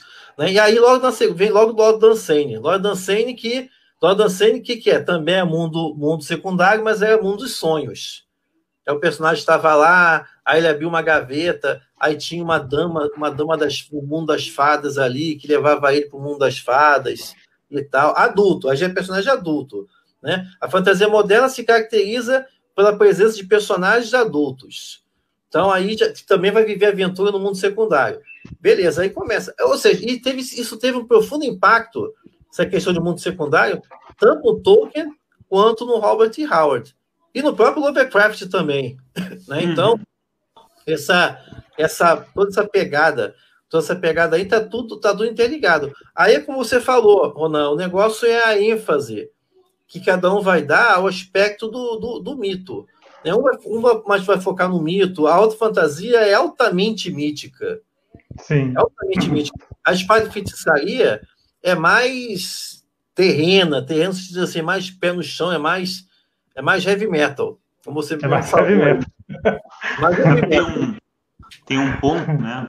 É, primeiro, assim, todas essas é, análises do professor estão lá no Fantastic Curso, tem vários vídeos, quem quer conhecer as definições, ainda que às vezes as definições, às vezes não, elas limitam, mas se quer conhecer, estão lá no Fantastic Curso.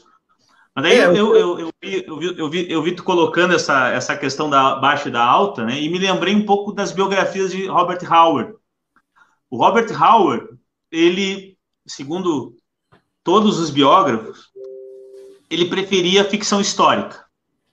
Então ele tinha uma vontade crescente, principalmente a partir lá de 33, 34, de enveredar para ficção histórica. Tanto é que ele vai escrever muitos contos na Oriental Stories, aquela pulp que é do mesmo editor da Will Tales, e ele adorava aqueles contos. Ele adorava escrever sobre cruzados, sobre guerras na Idade Média, nas cruzadas, com os personagens dele.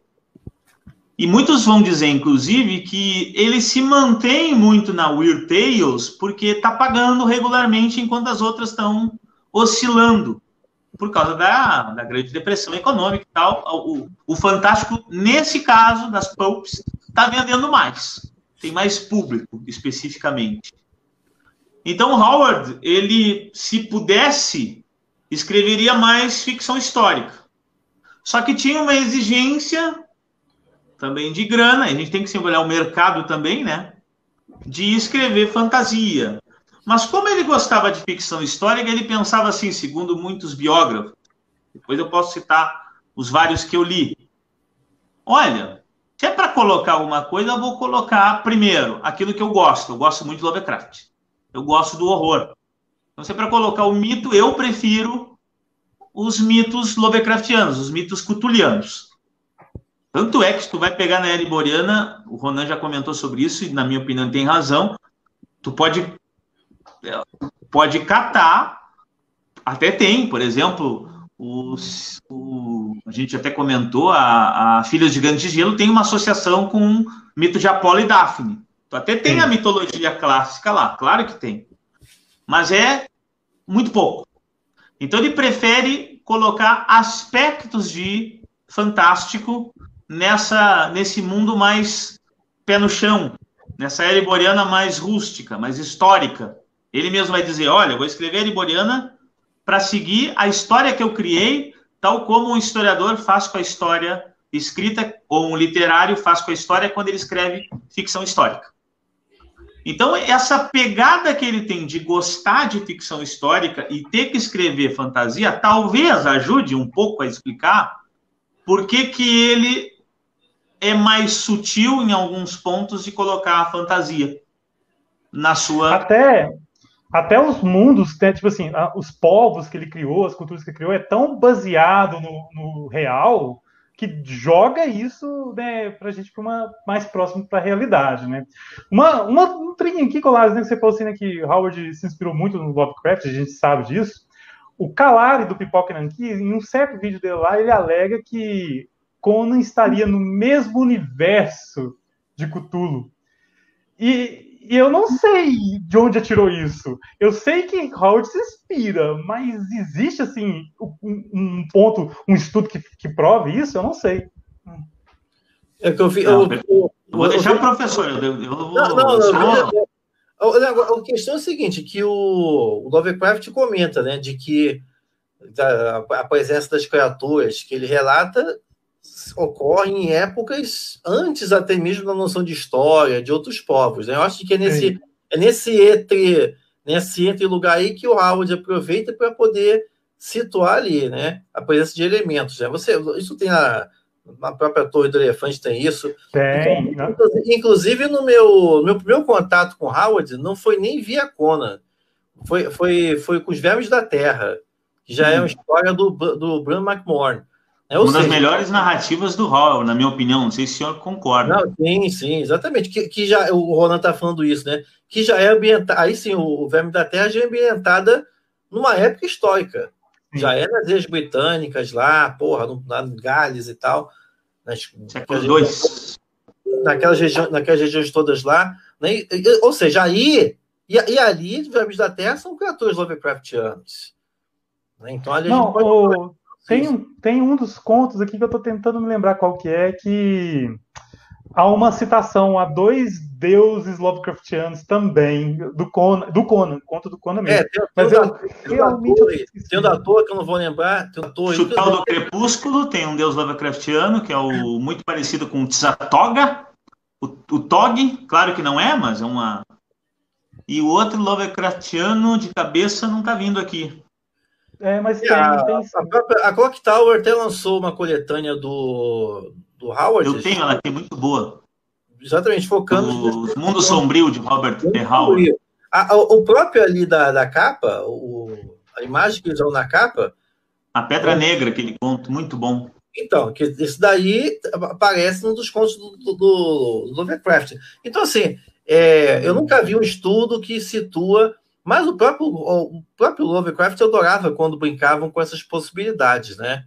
Então, assim, é, eu, e me agrada, me agrada a imaginação, imaginar o Conan andando no mundo, Situar. andando no mundo onde tem aquelas criaturas, como por exemplo, ele está andando no mundo onde, onde a, a, cidade lá descrita nas Montanhas da Loucura ainda existe. Então, assim, eu, eu me eu gosto dessa possibilidade. Eu acho que o Howard foi, foi justamente por isso, né? Casou muito bem. né? E, e, particularmente o Howard, porra, o Howard ele escrevia com muito mais paixão, muito mais verve que o Lovecraft. O Lovecraft, em termos de escrita, em termos de escrita, é, ele, ele, ele tem o lugar dele hoje por causa porra, das poderosas imagens que ele que ele cria. Mas assim, se for para comparar em termos de escrita, porra, mas o Howard escrevia muito melhor. É, é. Olha que eu, eu, eu, tô, eu tô lendo muito Lovecraft agora, até pela pesquisa, né? É, eu gosto muito do Lovecraft, assim, é, é não sei, é, ele me cativa. Mas eu noto isso, assim, eu noto, inclusive hoje eu estava lendo uma biografia dele em que ele tem um momento que ele fica catatônico, catatônico não, ele fica em casa e não quer sair dos 18 anos até os 20 e poucos anos, eu não lembro qual é a idade. Então o Lovecraft tem, dá a entender que tem muito problema de, de depressão, alguma coisa nesse sentido. É, mas ele me passa às vezes isso, assim, é, a, a, quando ele narra um monstro, uma criatura, quando ele narra o ambiente de horror, é fantástico. É muito cativante, na minha opinião. Só que tem momentos em que a, a narrativa dá uma. Ela fica mais morna, propositalmente, eu até acho. Ela fica mais morna, ele vai descrevendo as relações do detetive com a, o caso ou com as pessoas que estão entrando em contato. Então, aquilo, aquilo, tu quer avançar e não avança. Às vezes parece o Tolkien descrevendo o cenário. Tá louco para ver a batalha lá e ele está descrevendo. E eu não vejo problema, porque eu entendo que, que enriquece. Mas tá louco para ver a batalha. E ele está escrevendo lá o local da batalha e fica 10, 15 páginas escrevendo. E o Lovecraft faz isso com as, a psique a primeira... da pessoa que o cara está falando. A primeira versão de O Senhor dos Anéis que eu li, o aniversário do Bilbo Bolseiro tinha 80 páginas. O aniversário! É, gente, é, é aquilo, né? Se tem um debate hoje aí, o pessoal, o pessoal, o pessoal que escreve fantasia e tal, é, é da época. Eu sempre falo, eu sempre falo, gente, olha, você quer escrever fantasia? Vai ler. Ah, mas eu não vou escrever. Vai, conheça. Eu, eu sempre sou, eu, eu sou partidário do, do, do conheça para não fazer conheça para subverter. Né? Então, por exemplo, isso até o, tem um, pesquisador português, Felipe Furtado, tem até o livro dele aí, que ele faz uma análise da, da obra do Lovecraft. É, é, é, sempre a mesma coisa, no sentido de, de você tem um segredo que um, um personagem, que é erudito ou não, ele encontra esse segredo que, e acaba que isso leva a um lugar ou a revelação de segredos que acaba trazendo loucura para ele, suicídio, morte e tal. Então, é, uhum. é, uma estrutura, mas é aquilo que eu falei. Adoro Lovecraft também, mas é, é, muito, é muito interessante a gente perceber que, por exemplo, se você pegar uma pessoa que vai ler, se você pega pessoas que leem Howard, pessoas que leem Lovecraft, a presença de, de pessoas que do Lovecraft, tipo, Lovecraft ama ou odeia. Tem gente que não gosta de ler Lovecraft né? Uhum. Mais ou menos como o Stephen King. Tem gente que não se acostuma com o Stephen King. Ah, uhum. Já Howard, o percentual de pessoas que gostam é maior. É muito maior. Tem menos presença assim. Eu não vejo assim muita gente tipo. Ah, o Lovecraft é mais da linha do é, ou ama ou odeia. Né? Porque, Mas, você comentou aí, Alex, da fórmula Lovecraft. Howard também tinha uma, um segmento de fórmula, né? De é, ruínas desconhecidas, certo? A coisa sobrenatural acontecendo. Nossa, é impressionante como uma certa quantidade de contos dele, ele consegue assim renovar o suficiente. Isso eu acho incrível. Que apesar de uma um esqueleto próximo entre os contos, ele consegue ser diferente o suficiente que você consegue ler um conto atrás do outro e não sentir que tá igual. Mas se você analisar, tem uma estrutura Sim, bem é, repetitiva. É, isso é padrão do pump, né? Pelo é. próprio ritmo da época, pô, é, é frenético. Os caras tinham que digitar, os caras ganhavam por palavra. Então tinha que botar lá. O Bradbury relata muito isso, né? O Ray Bradbury, o autor do Fahrenheit 451, ele vem, ele, ele, vem desse universo, ele vem desse universo. Então é, é uma indústria.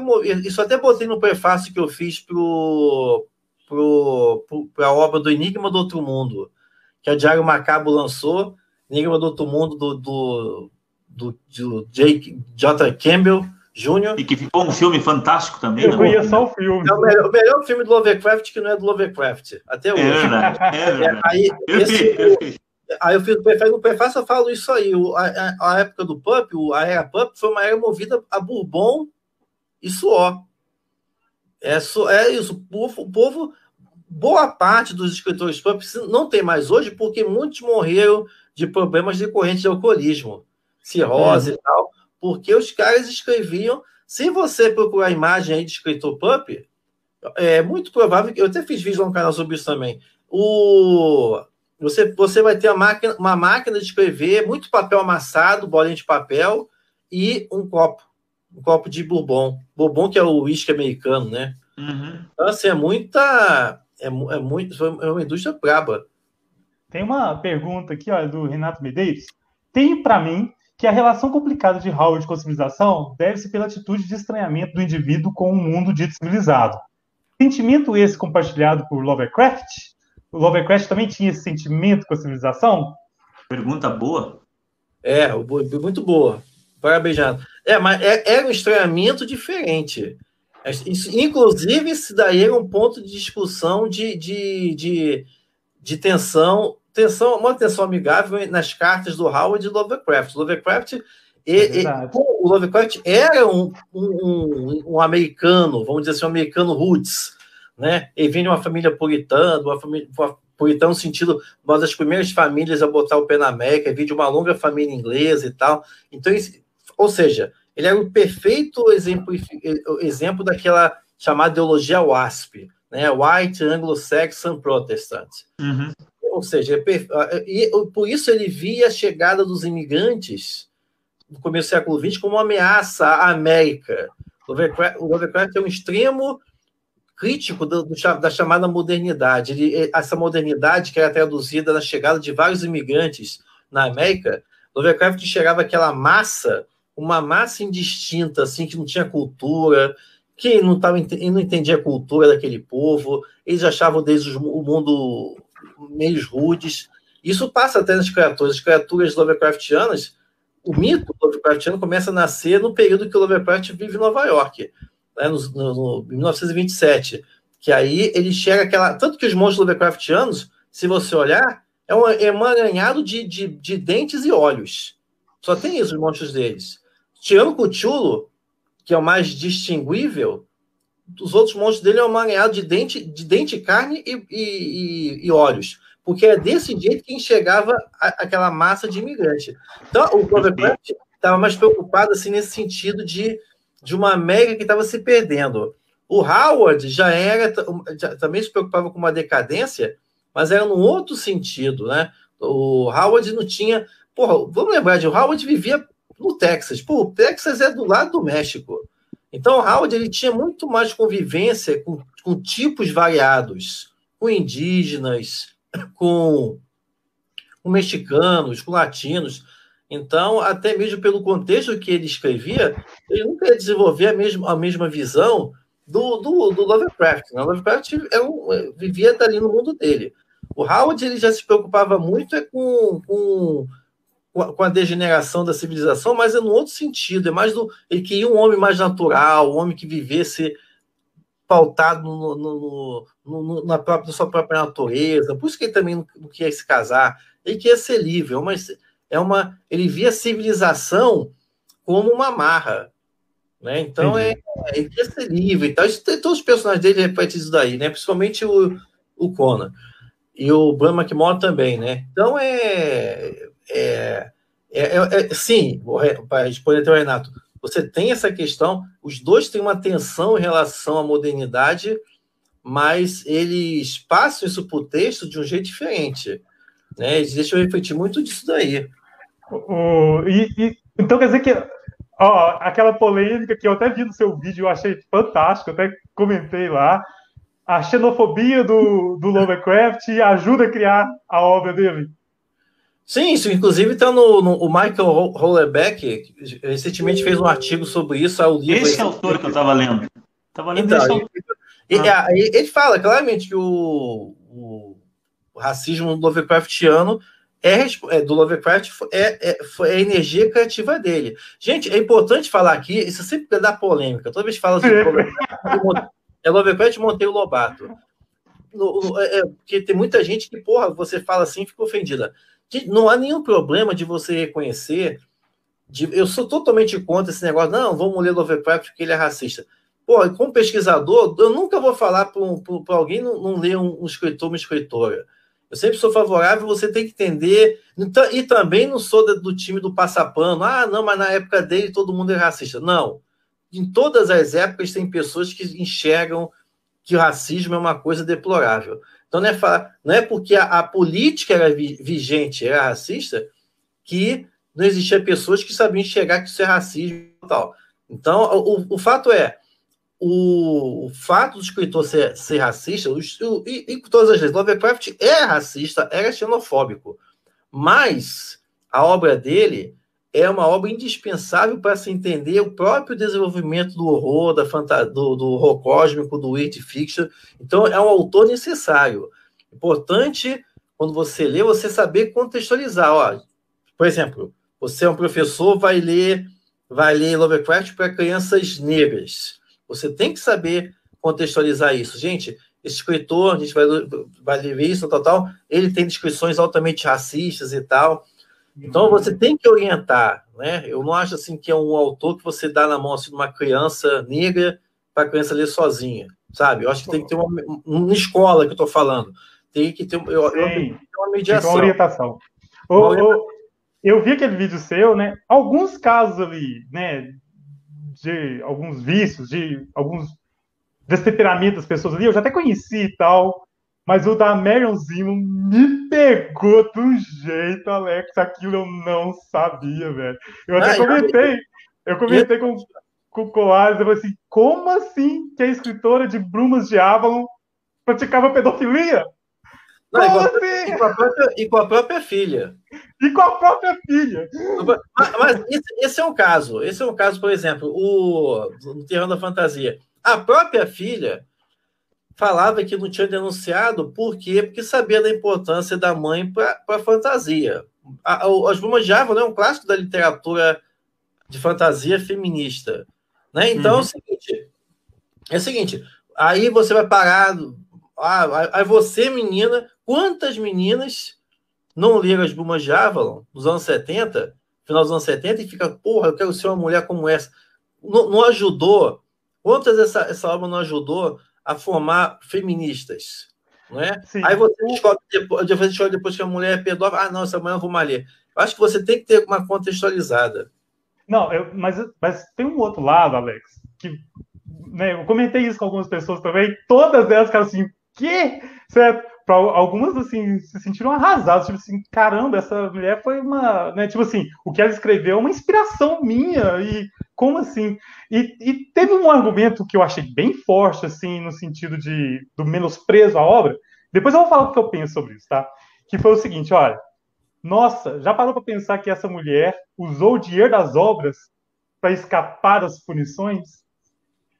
Na hora que a pessoa falou isso comigo, eu pensei, é bem complicado, certo? Mas agora o que, que eu penso, né? Pô na minha posição. Eu pensei muito nisso, na hora que eu vi o vídeo ontem, eu fiquei, caramba, esse trem ficou remoendo na minha cabeça. Eu pensei o seguinte, olha, vamos imaginar que ela tivesse escrito o livro, né, e tivesse simplesmente deixado num banco da praça sem estar assinado nem nada. A obra, a gente não ia saber qual é o passado dela, o que, que ela fez, etc e tal. A obra ia deixar de ser maravilhosa ou não, a obra é maravilhosa de qualquer jeito, se você sabendo ou não quem é a pessoa. Eu não sabia desse passado dela e a obra era maravilhosa. Então, eu acho que é... eu sei que o que ela escreveu lá, principalmente na Bruma de Avalon, que tem muita alusão à violência sexual, tem, tem muita passagem de, de, violência sexual. Então, assim, eu sei que o que ela escreveu lá é muito resultado de coisa que ela vive. Claro, todo, todo escritor deposita isso, né, quando está escrevendo uma obra. Mas ah, eu lembro da a cena do, Ar, do Arthur com a Guinevere, o ritual de acasalamento que eles fazem, é duas, é, não são bem jovens, é, é, os adultos forçando eles a fazer parte de um ritual de acasalamento. Literalmente, né? Mas, ah, mas o que eu quero pouco é o seguinte, olha, eu sei que às vezes né, a vida do autor reflete na obra, mas o que eu acho que é desconectado é a obra com a gente é outra relação. É isso que eu acho que é diferente. Então, tipo assim, eu não acho que a, a, obra perde o valor, porque a relação minha com a obra é uma, a do, do autor com a obra é outra, outros 500. Concordo que tem um problema da questão do dinheiro, que a pessoa, né, uma pessoa comentou comigo, mas nossa, é verdade, as pessoas usam o dinheiro da obra para fugir das punições. Mas é um assunto difícil, viu, Alex? Não, é, gente, é, é, é, eu até acho até que eu falo isso no vídeo. Lógico, por exemplo, é, são, são coisas que passam muito por experiências individuais. Se uma pessoa, uma pessoa que sofreu pedofilia. Com certeza. Eu, eu, vou, eu vou julgar, eu vou ficar falando assim, pô, não, passa por isso, vai, continua leal. Cada um Com tem um, cada um sabe como é que esses temas falam para ela. Racismo é também, pessoas que sofreram racismo e aí não aguento chegar perto de Monteiro Lobato. Ok, cada um sabe na pele. Agora, no geral, é importante destacar esse, a, a, essa. Se você não passou por essas questões assim, é, é o que eu sempre falo leia a obra, mas leia a obra sabendo de uma forma crítica. Entendeu? Agora, você, por exemplo, tem caso aí, você lançar. Tem gente que fala assim: ah, não, vamos é só eliminar essas passagens, é só reescrever. Isso é censura, gente. É verdade. É ah, vamos queimar o livro. Isso é censura. Eu estou falando casos de pessoas que falam isso. Né? Então, é, eu nunca vou falar isso de queimar um livro, de modificar um texto. Inclusive, o, próprio Ray Bradbury fala que foi essa questão aí de editar livros que ele viu no, na América dos anos 50 que levou uhum, ele a fazer que, que, levou ele a fazer o Fahrenheit 451, que isso daí é uma censura. Então, a questão é. E, e outra coisa, né, como eu estava falando no vídeo, cara, se você for passar um pente fino, em todos Ninguém os do, século, do, de meados, do, de meados do século XX, de 1950 para trás, Porra, mas não vai ficar um, cara. Não tem um que salva.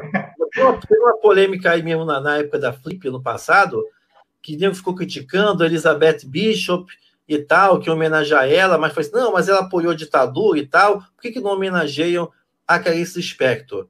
Só que pouca gente sabe que a Clarice Lispector, porra, ela é uma que detestava pobre, detestava pobre. Ela tratava a empregada doméstica igual animal, chamava em, em, em texto, em cartas, de animais. Então, quer dizer, você, aí qual, qual, vai ser o valor que você vai. Agora estão pegando o pé da J.K. Rowling. J.K. Rowling disse que trans, pessoas trans não são mulheres. Então, aí quer dizer, ainda mais no, no momento que a gente vive hoje de patrulhamento ideológico, você. você é, é, é, e, e, também no momento que os escritores eles acabam preferindo ficar aparecendo mais do que a obra, então acaba que eles acabam ficam mais sujeitados a essas questões aí. Ou você você fala o que pensa sobre as consequências, ou então você prefere fazer a política do não, tá, para mim todo mundo é lindo e tal, mesmo você escondendo sua opinião, ou então você não aparece, deixa sua obra aparecer para você, por você. O, né? eu tenho, gente, eu, eu reafirmo, Ronan, tem um vídeo. Só, eu sei, eu sei, eu sei, um Ronan, eu tá. sei. Nós temos duas perguntas, né? Eu tenho uma pergunta também do Renato e uma outra pergunta do Robilan também. Só que eu queria, assim, só fazer uma, um fechamento nesse assunto como um historiador. É, uma vez, no meu um mestrado que eu fiz, eu li um texto muito bom de um, de um historiador chamado Pierre Ansart, é francês. E ele falava exatamente sobre esse assunto do esquecimento da memória. Nunca na humanidade, segundo ele, o ato de esquecer ou de forçar o esquecimento por causa de algo ruim que acontece ou que alguém faz, foi benéfico para a história.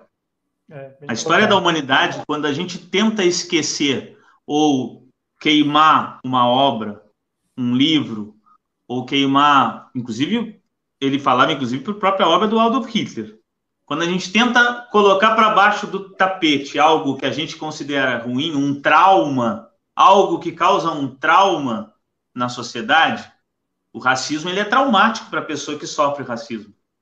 Mas quando a gente tenta esconder e dizer, não, não, não leiam isso porque isso é, por exemplo, racista, a gente não está abordando a problemática do racismo. A gente está tentando esconder o racismo através do apagamento da obra de um autor, porque em tese ou ele é racista. Então o Pierre Hansard dizia que nós temos que atuar, segundo ele, como o terapeuta. O terapeuta ele quer ouvir, Ele quer ver, ele quer ver e ouvir o que diz o seu a pessoa que está ali no consultório. A mesma coisa ele diz para a história, a mesma coisa ele diz para as fontes, a mesma coisa ele diz para a literatura. Vamos conhecer os autores com seus defeitos e debater essas características para não deixar nada embaixo do tapete e para que não fique um trauma ressentido, porque quando se ressente é pior. Desculpa, eu concordo. só tive que fazer isso. Não, concordo plenamente. Eu, eu só queria falar que o, o Alex tem um vídeo sobre isso, né, com vários nomes citando várias coisas, gente. Quem puder ir no canal dele e assistir, é ótimo. Adorei aquele vídeo. Ele foi porque tem um negócio muito legal também, que é quebrar o patamar que a gente coloca esses autores certo? A gente, às vezes, a gente às vezes endeusa, endeusa demais o autor, né? E o autor tá cheio ali de coisas que a gente nem sabe. Achei ótimo aquele vídeo seu, muito bom mesmo. É, o, é o pare, pare de ler essas pessoas. Acho que o título é esse, pare de ler essas pessoas. Muito bom. Não, é, é dois. Um, tem um que você é fala assim. Irônico, né? Tem um que você fala assim, né? Tipo assim, meu escritor é racista, e agora? Que você, é, você expõe bem e, e, o pare de ler essas pessoas. Não, não, Muito bom. Tem, tem uns, uns vídeos desse aí que, por conta dele, já até me expulsaram de, de grupo no Facebook por causa disso. e, não, porque não assim, é, porque assim, ó, o radicalismo é, é, hoje em dia é um padrão tanto de, da esquerda quanto da direita. Aí quando você vem para apresentar assim, uma, uma, uma, posição média, um balanço, um equilíbrio, pô, aí o povo não, não aceita, não. O povo quer, tem gente que não aceita, só é, só é verdade do lado dela. Mas Execrado essa... pelos dois lados, né? Nós temos duas né? perguntas legais, assim, Ronan. Não sei se tu quer passar para ele. Eu tenho uma também aqui, do Renato que é muito boa, assim, mas passa a primeira a que tem. Então vamos aí. lá. É, RC Júnior, né? Howard e Lovecraft eram ateus? Se sim, como este viés moldaram suas obras? Eles eram ateus? Do Robilan também. É do Robilan, é. Ó, oh, do Howard eu não sei. Não sei. Até o Colar de repente pode falar. Eu não sei se ele era de ateu. O Lovecraft. Eu não posso falar mesmo, porque eu não estudei. O Lovecraft, o Lovecraft ele teve, uma, obviamente, uma formação puritana, mas ele, ele, ele é um adepto da ciência. Ele é um apaixonado por astronomia e tudo mais, leitor de ciências antigas. É, então, eu não sei se, se, se ele se enxergava como ateu. Ele, ele, nunca, ele nunca manifestou essas questões na obra dele. Mas se você olhar, por exemplo, a própria questão do, do, do horror cósmico, né, que ele é um dos principais. É sempre bom lembrar, gente, o Lovecraft não foi quem inventou o horror cósmico, não, tá? Mas ele que foi um dos grandes disseminadores. Então, quando você olha de perto o horror cósmico, você vê ali que aquilo ali é antirreligioso. Então, por quê? Porque a religião sempre prega um processo de, de, de iluminação do indivíduo. Né? Independente das religiões, todas almejam uma iluminação do indivíduo, melhoramento dele. Mas no horror cósmico, você tem um esvaziamento dessa crença. Né? O que as narrativas, a, a filosofia Lovecraftiana, que é muito apagada na ciência, é, é de que, no final das contas, a gente está solto no universo. A gente não tem a importância do universo. Né? O, o, essa juventude hoje aí, que é muito ligada ao niilismo, adora o Lovecraft por causa disso, né? De achar que, não, gente, não adianta o mundo, não existe sentido no mundo. E a gente vai perceber que nós, nós, o ser humano não tem essa importância que a religião coloca nisso, né? Ela destaca muito a importância da, da ação individual. E a, enquanto que a, a, filosofia apresentada nas obras do Lovecraft fala que não, na, na verdade, o que o conhecimento traz é um esvaziamento, uma percepção de que nós não somos nada, somos vazios, somos ocos. Por isso é que os personagens do Lovecraft terminam sempre loucos ou se matam, porque essa, essa, essa constatação, né, esse encontro com, a, com essa verdade, daí no, é, acaba esvaziando o sentido de existência deles. E aí ficam doidos. No, no, no Howard, eu não vejo eu não vejo, eu vejo o Howard de uma no sentido assim, se ele for, não diria que é ateu, mas eu, eu, enxergo nele assim uma pessoa que não quer se prender nem pela religião.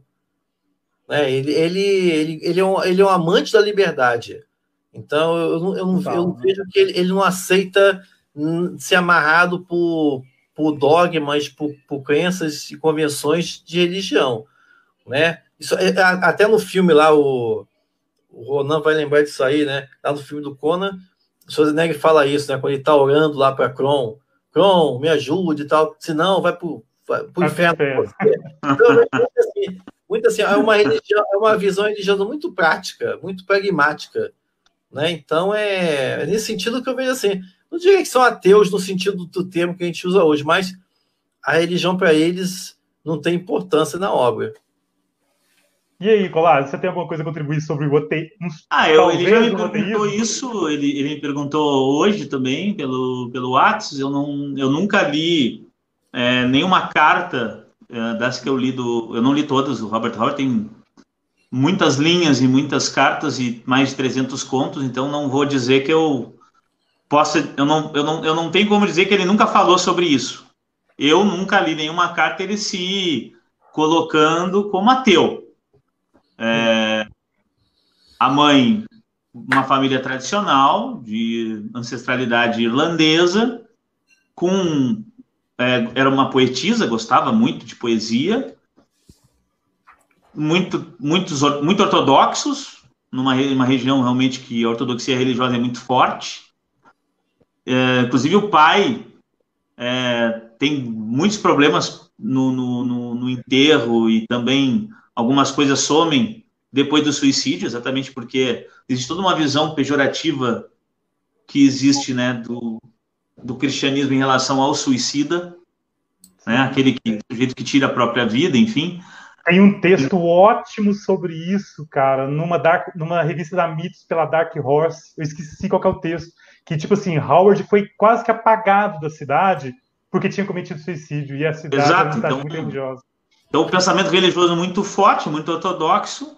Ele é um, de certa maneira, ele é, ele é crítico da. Ele fala muito, muito da falsa moralidade dos, dos, das pessoas aqui em Cross Plains que vão na igreja e, e, e cantam moral para fazer coisas contra o dogma religioso. Então, mas não sei te dizer se eu posso qualificar isso como ateu. Não tenho conhecimento para isso. Agora, como disse o professor, é um questionador muito, muito forte do, do, do, das coisas que prendem o homem, das coisas que tiram a liberdade do homem. Então, tanto é que Conan e todos os personagens rústicos ou bárbaros, eles são homens que questionam muito a hierarquia religiosa, o poder religioso, o poder oficial que tenta cercear a liberdade individual. Tem então, uma, isso está lá. Isso tem uma, isso é... uma coisa assim que não é bem ligado à questão da religiosidade, mas que eu percebo, assim, principalmente na Torre do Elefante, quando o, o Yag Costa começa a narrar a evolução dos povos, e ele fala da evolução do homem vindo do primata, etc e tal, isso para mim sempre despertou um ponto, Colares, que é o seguinte, o Howard estava atento às descobertas científicas da época, principalmente a teoria da evolução, e estava jogando elas no texto dele, certo? Não, não, não acho que isso ainda seja um rompimento religioso, mas como uhum. o Alex falou do, do Lovecraft aqui, que já estava assim, né, a ideia meio cientifista e tal, de pensar nisso, Howard parecia também, em alguns aspectos, tinha erro ali, né, erros científicos naquela visão, óbvio que tem, porque, até porque é fantasia, né? Mas já tem ali alguns aspectos ali, assim, que me parece que são né, emergentes do mundo da ciência e o que, que a ciência estava falando. Né? Mas, igual falando, né, não tem um, parâmetro forte para poder falar sobre isso, até porque eu não sou estudioso igual vocês são.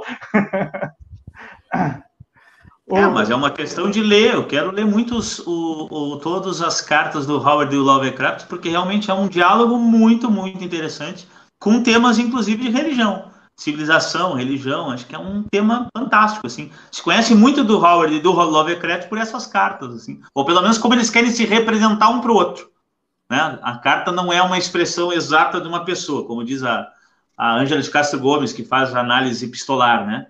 Ela não é uma expressão do que eu sou, ela é uma expressão de como eu quero me representar para aquele que eu vou é, mandar a minha carta. Mas é, é, é um ponto fundamental, na minha opinião. É, dá uma, dá uma pesquisa isso, pegar o. comparar ah. a religião no Lovecraft e a religião. Inclusive o livro da. O livro da Natália Sorgon Scoltuzzi, lá que é editora da Diário Macabro, o, o livro dela, acho que é Vertigem do Desconhecido, ela de, detalha bem essa questão aí da. Do, explica exatamente como é que se constitui essa visão científica do Lovecraft e tudo mais, é, e, e dá uma pesquisa para ver, ou seja, a, a, como é a religião do Conan, do mundo Conan, da Ariboriana, qual é a religião do mundo do Lovecraft, como é que isso se compara com o cristianismo. Dá Ó, tem uma pesquisa aí para alunos, alunos aí, para estudiosos.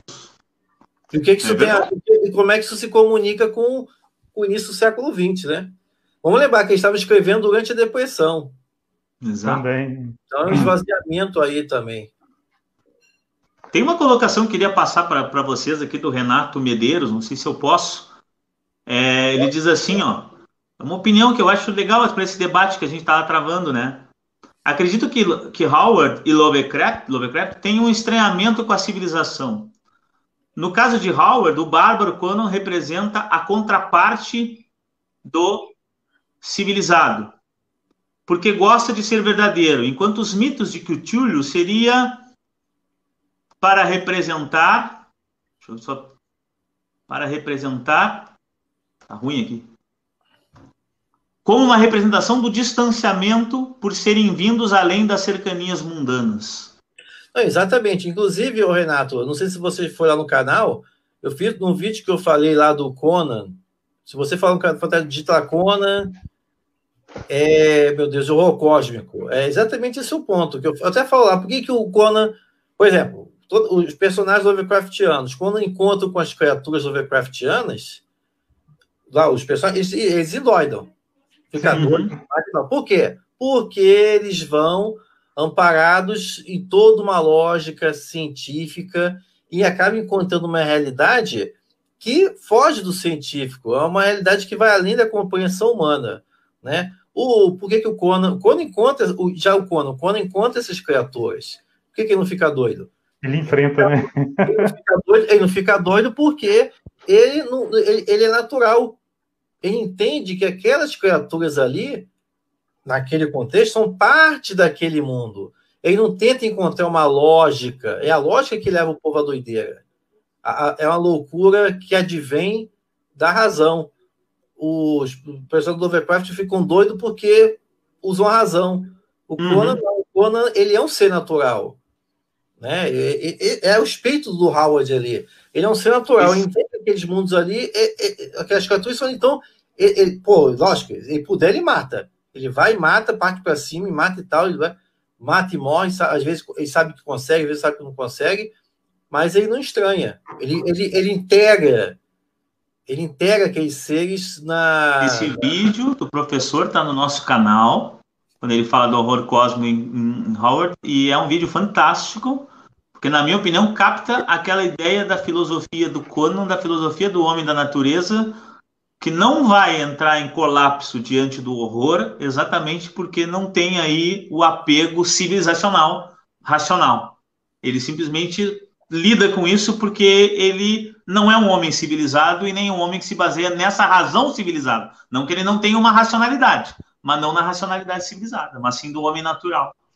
Depois tu vê lá, Renato, tá lá no canal lá, não sei se você já viu, mas esse, isso é exatamente o que você falou aí. Tá perfeito o, o pensamento. Muito bom. É, alguma pergunta, Ronan? Eu tenho é, várias. Nossa, o nosso tempo está esgotando, né? A gente tem que começar a pensar fechar isso aqui. Eu tenho duas perguntinhas rapidinhas que eu queria que o Alex respondesse para a gente. Primeira, como se pronuncia Cthulhu? Eu sei, ó, o, o, o próprio Lovecraft fala que a, é uma língua alienígena, então que a, a própria qualquer tentativa de pronúncia vai, é, incorre erro. Eu falo Cthulhu. Cthulhu. Eu também. Eu falo Cthulhu. Não sei se é estilo ou se é, é, é que é alienígena. Eu não então, falo do jeito, eu falo Cthulhu. Oh, segunda pergunta. A pessoa fala Cleiton. eu gosto do Cleiton. segunda pergunta. Brincadeira de Facebook. Se você for ficar perdido numa ilha sozinho, quais os dois livros que você quer levar contigo? Ah, eu levaria Moby Dick Sempre falo assim: o dia que eu for preso, eu levo Mob Dick, que assim é livro para você ler e reler. Ah, eu acho que eu levaria também o a, a 20 mil léguas submarinas. Ah, bom. Que foi o que você falou que teve contato no início? Isso, exatamente. Bacana.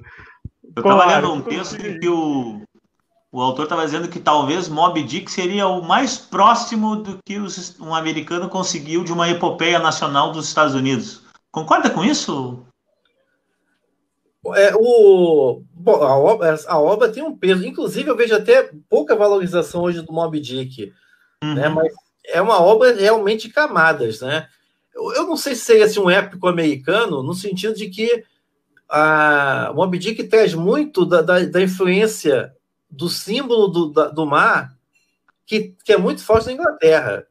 Na Inglaterra uhum. é muito forte a presença do mar, a gente vê isso em baladas, a balada do velho marinheiro, do Coleridge e tal, que virou música do Iron Man, inclusive. Né? Uhum. The Ride of the Ancient Mariner. Então, ou seja, no teatro inglês, o símbolo do mar e da ilha, porra, mas é muito forte. Ah, ah, o Moby Dick, ele, ele herdou, como é típico do romantismo, né? Ele herda temas, temas nacionais, né? O passado, passado da América está na Inglaterra. Ele herda essas coisas, assim. Então, assim, eu não veria, assim, uma, uma obra como uma epopeia americana e tal, uhum. né? Eu, eu, eu, eu, vejo, eu vejo até o, as, as aventuras do Huckleberry Finn mais nesse lugar do que o Moby Dick. É, o que eu, eu fugi do tema, mas eu estava afim de perguntar isso para ti, aproveitar. Agora tem uma pergunta da. da... Posso, Ronan? Eu tenho uma pergunta ah, que é do nosso aí, tema. Né? Ó, oh, nosso é... estourando. Assim, já falou alguma coisa disso, do horror. Mas o que, que pode dizer assim que o Conan tem de Lovecraft? Lovecraft tem uma influência muito forte. Aí tu vai dizer, ah, o horror cósmico.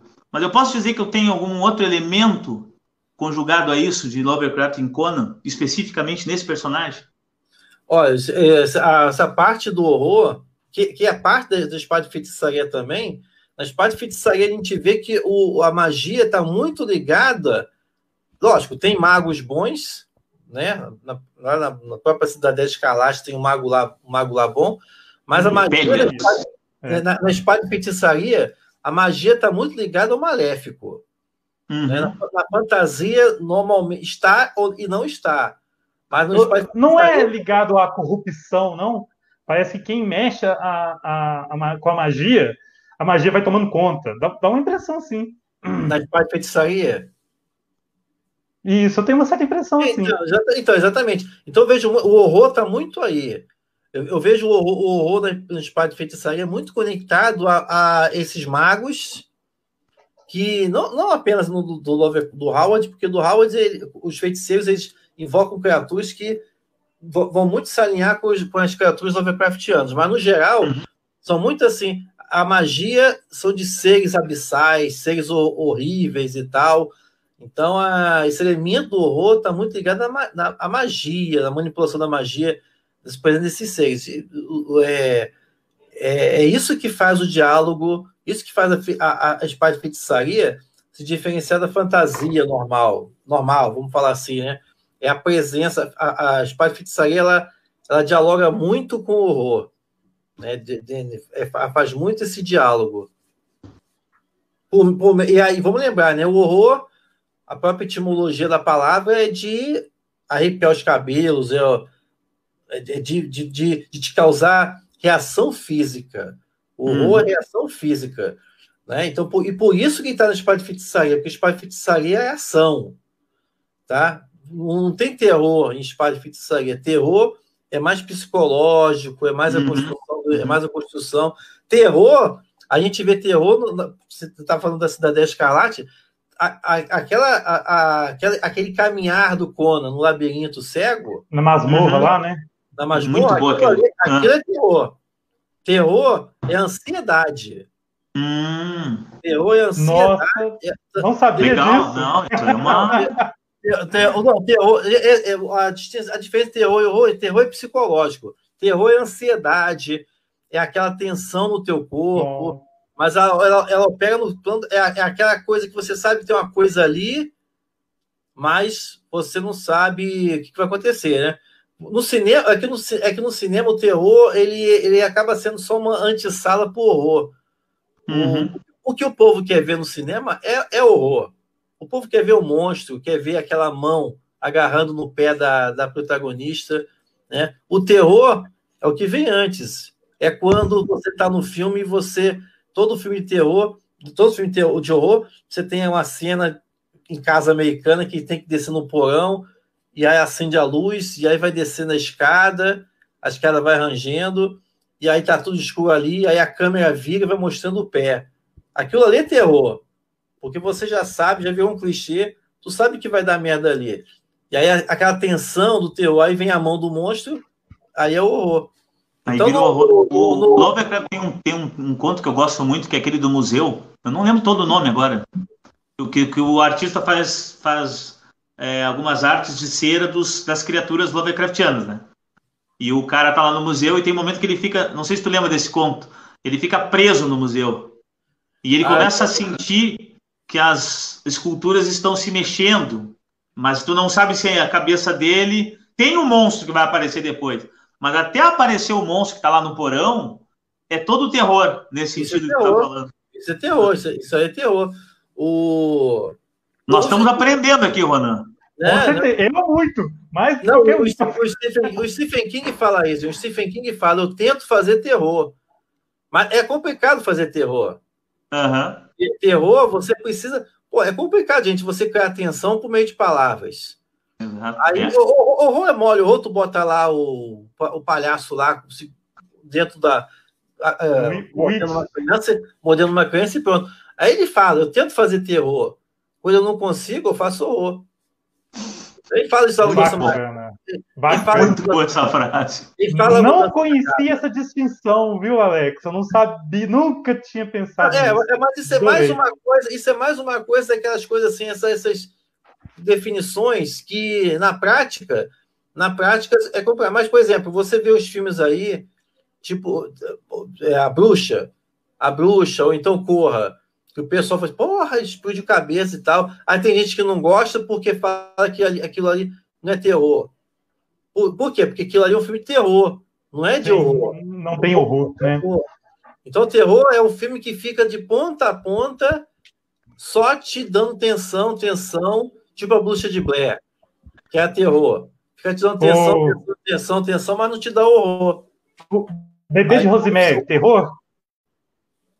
Bebê de, Rosemary, Bebê de Rosemary é terror, fica naquela tensão e aí aparece do horror no final. Só no Mas final aparece o. Né? É, Exorcista já é horror. Exorcista é horror porque uhum. ele apela lá para mulher, menina se masturbando vomita, com a levanta, é. Horror, horror, horror, é, horror, é, horror é visceral.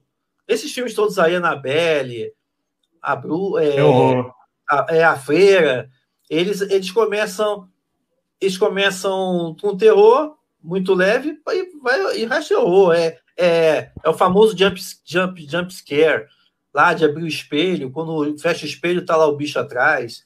Isso aí é, é horror. O terror é mais. O horror, é, literalmente, é essa... literalmente, o terror é mais elevado.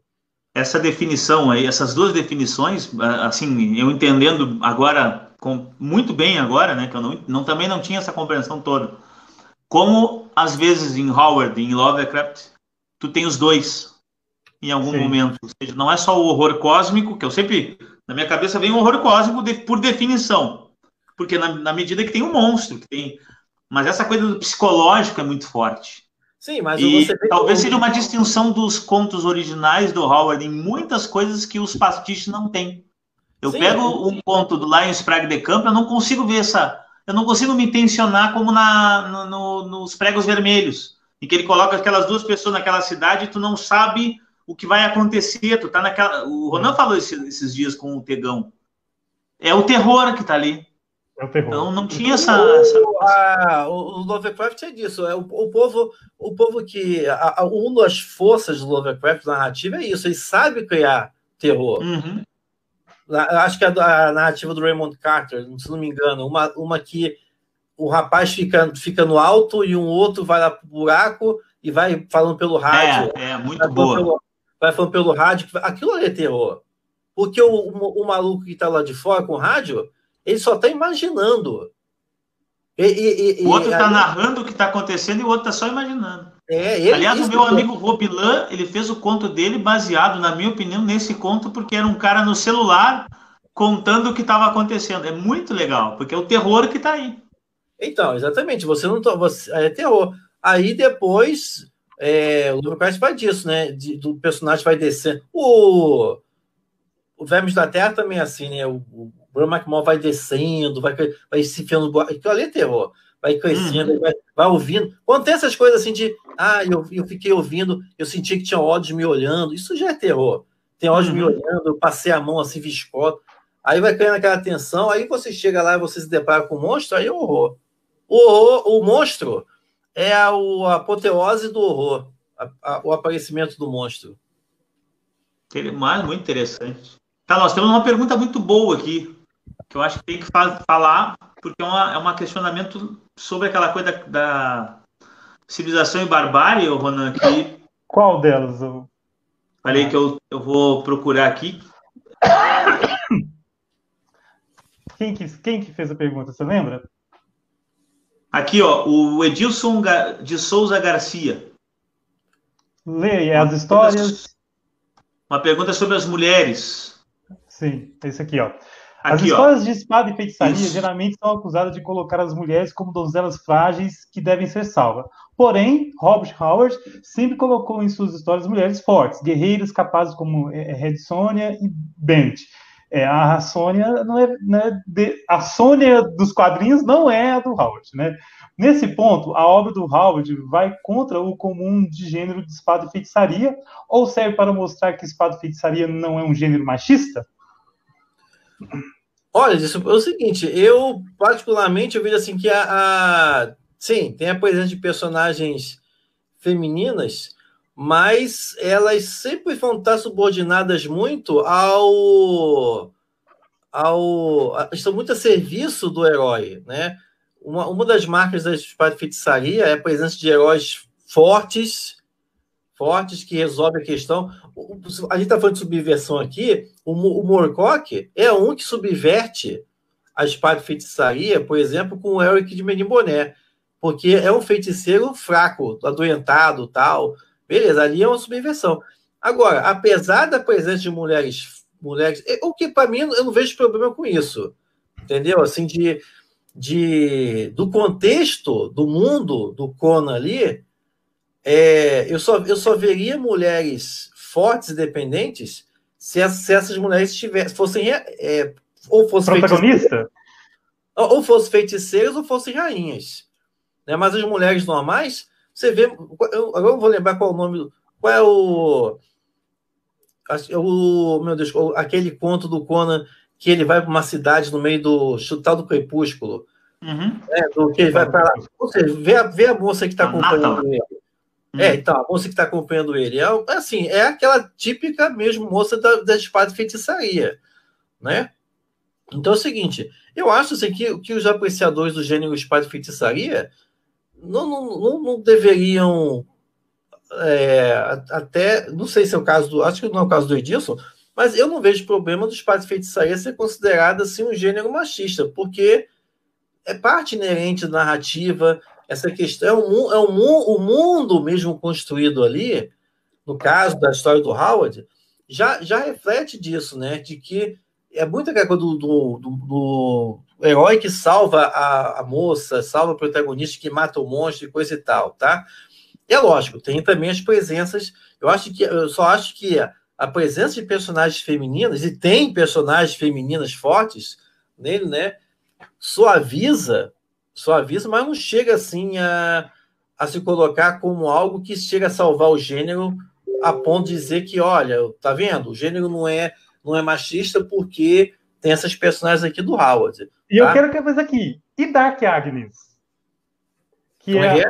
A, a, uma outra personagem do Howard. A, é então, é... exatamente, tem esse caso. É isso que eu tô falando, mas é, quando a gente analisa Espada e Feitiçaria como um todo, aí. Entendi, entendi. Entendeu? Fica diluído, né? Agora, mas isso aí também, isso aí também, disso dá uma, dá uma pesquisa, hein?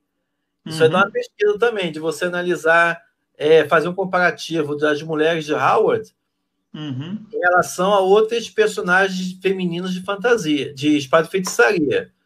Entendeu? Já, já me pediram para escrever sobre isso, até hoje eu não escrevi porque não me, não me arrisquei ainda, falta é, muita leitura. Em que, medida, em que medida realmente elas, elas são empoderadas, vou usar o termo de hoje, né? empoderadas, né? Porque, por exemplo, se, mas se elas chegam na narrativa, porra, quebra, quebra geral, e no final fica com um herói, pô, isso aí é empoderamento.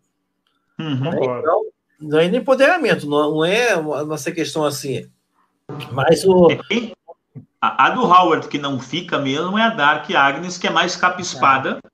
Ela não é, não chega Sim. a ser considerada uma narrativa de, de espada, e feitiçaria. É, espada e feitiçaria. E, mas assim, também há, eu estava lendo esses dias um, um, um, estudioso chamado Javier Lalanda, não sei se tu conhece, professor. É, Quando Cantam as Espadas é o nome do livro, tá? Eu importei. E ele estava falando exatamente sobre isso, tudo que motivou Howard a criar essa personagem acusado de misógino, é, exatamente por colocar entre 32 e 34 as mulheres que estão ali com Conan muito frágeis naquele primeiro momento. A, a Belite é uma, um pouco de quebra e a Valéria também, mas ah, seria uma resposta. Mas não dentro da, da, da, da espada e feitiçaria, mas sim dentro da capa espada. Só que ele não conseguiu publicar ela porque uma outra autora, Pope, já publicou a sua heroína, que era muito parecida, agora não lembro o nome dessa heroína, e que fez mais sucesso na época. Então, assim, eu, eu, uma hora eu acho que eu vou escrever sobre isso, mas é um tema de pesquisa é, e, é um, e seria um programa só sobre isso, né? Não, e nesse caso aqui, vamos lembrar também, gente, que, que a, essa feitiçaria praticada pelo Howard está inserida no contexto das pubs. Pô, e se você pegar as pubs, de todos os gêneros, Basta olhar as capas das revistas de ficção científica. Olha, olha, olha as mulheres lá da, da, da Maze Stories. Olha, olha a capa lá da, da, da, da, das revistas de terror. Da, porra, é só mulher seminua e tal. Então, assim, eu acho que está dentro do conte no contexto das pups, o mundo das pups. Quem que lia as pups, gente? Era adolescente, era o, o cara lá que, porra, já tava puto que não achou, mais um dia não achou emprego durante a depressão. Então, e que chega em casa e lê uma história lá de mulher peituda e tudo mais, é, é isso. E soldados, né? Tem, é, tem um vídeo sobre, sobre as popes ali, é Sim, muito bom no Fantástico Curso. Do, do... Então, é, é o mundo. Agora, aí, o que é interessante é disso, né? Fica até o convite para escritoras, né? De pegar esses daí e retrabalhar. Retrabalhar essa tradição pump né, de para poder criar justamente inverter esse processo de criar personagens desse mundo. Show, show de bola. Sim, sim, bacana. Bom, é, a gente infelizmente, é, não sei, a gente não conseguiu seguir todo o nosso roteiro. Normal. Mas isso é normal. A, a gente tinha uma pergunta também, mais uma, umas perguntas de Tolkien aqui, mas vamos deixar para depois. É, eu, eu, tenho que fechar porque a gente costuma ter esse, esse horário definido, mais ou menos duas horas nas nossas lives, até porque o público, mesmo gostando, o público cansa. É, até em aula acontece, a gente está dando uma aula muito boa, mas a gente sabe que o público tem um momento que cansa, né, o corpo cansa, a mente divaga, mas eu quero, eu quero agradecer a, a sua presença, o convite que eu fiz e o, o fato do Fantástico Curso ter sido ter se tornado cada vez mais um parceiro, a gente cada vez mais está vendo e acompanhando os vídeos e vamos seguir, se o professor nos permitir, é, às vezes também postando alguns vídeos e relacionando com o nosso tema, porque a gente é um, é um canal muito focado na fantasia howardiana e proximidade com a espada e feitiçaria ou com a fantasia, como gênero, no caso, né? Com a alta fantasia, no caso.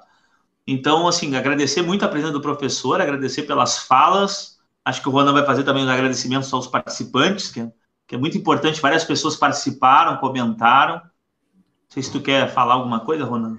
É, que olha, deixar o agradecimento aqui para quem estava no chat aqui conversando, é o Matheus Martins Bianco, Diego Quadros, né? RC Júnior, que vocês falam que é Rubilan, que é o nome dele. Uh, é, Vitor Hugo, Marco Aurélio, João Vitor, Ciro Inácio, Alex Leão, é, Renato Meideiros, o William Maiolis, né, que é o Will do antigo fórum, conhece há tempos, Emiliano Furtado, Marcelo Alves e, e Edson de Souza. O, e também a gente lembrar aqui que nós temos um canal no YouTube. Por favor, procurem a gente lá no YouTube, assinem o nosso canal. Essa, essa nossa live vai para lá, né? Quem, quem não assistiu ou quiser passar para outra pessoa depois, né? Pode usar o YouTube que a gente está lá. E vou deixar a palavra final aqui com você, Alex, né? Você deixar, deixar seus recados e tudo mais. Ué, Jesus, só tenho a agradecer por esse bate-papo incrível aí nessa noite aqui de quarta-feira. Estamos aí juntos, já falei com o Colares sobre isso. Foi um enorme prazer. Um dos grandes, uma das poucas coisas boas aí de 2020 foi, é, foi nesse aspecto desse cenário que a gente está vivendo aí de tanta desgraceça do mundo, foi conhecer o trabalho aí de vocês. Parabéns pela iniciativa, parabéns pelo trabalho apaixonado. O site de vocês, o blog, é uma coisa de, de primeira, dá vontade de entrar e não sair mais. Né? Desejo muita sorte também no projeto do canal, do, do canal no YouTube. Sei que saiu o vídeo, saindo vídeo, esse vídeo aqui lá para o canal do YouTube, também eu, eu posto lá no Fantástico Cursos, falo, falo, lembro o pessoal, gente, tem vídeo aqui e tal, para vocês, bate-papo que rolou. Fica o convite para todo mundo lá conhecer o Fantástico Cursos, né, que tem, tem, tem uma playlist específica sobre o ID, New ID, onde eu concentrei esses vídeos que eu falo de, de horror cósmico, de Conan, de Robert E. Howard. Tem a série Pup é Pop, onde eu falo toda a história do, da, do Pup, Pup Fiction, qual a importância dela nos Estados Unidos e coisa e tal. Entendeu? Então, fica o convite para vocês conhecerem lá Fantástico Cursos. Amanhã vai ter uma live às 8 horas sobre ficção científica. Vai ser reunindo grandes nomes, escritores, editores, escritores e pesquisadores de ficção científica, é o Veredas, vai ser um evento itinerante e que Fantástico Curso vai hospedar essa primeira edição. Então vai ser lá no canal às 8 horas, fica o convite para vocês conhecerem justamente qual é a história da ficção científica brasileira e para onde que ela vai, né? Então, gente, parabéns, muito obrigado mais uma vez pelo convite. Qualquer coisa, estamos aí, estamos aí para os próximos bate-papos. Tá certo. Bom, bom. Então a gente agradece. É, quem quer ser escritor também, o Fantástico Curso oferece é, cursos para isso, para que as pessoas possam saber como criar histórias, criar personagens. Eu vou fazer, agora no segundo semestre, vou fazer um, um curso, até para minha no doutorado. O professor, se tudo der certo, ele, eu, vou, eu vou fazer de tudo que ele venha para minha banca. É, já estou com conversas com o meu orientador então, assim, agradeço muito a vocês, agradeço muito ao Ronan, agradeço muito ao professor Alexander pela presença e pelos os ensinamentos que a gente teve aqui. Muitos! gente, então, vamos lá. Tchau, pessoal. Tchau, tchau, gente.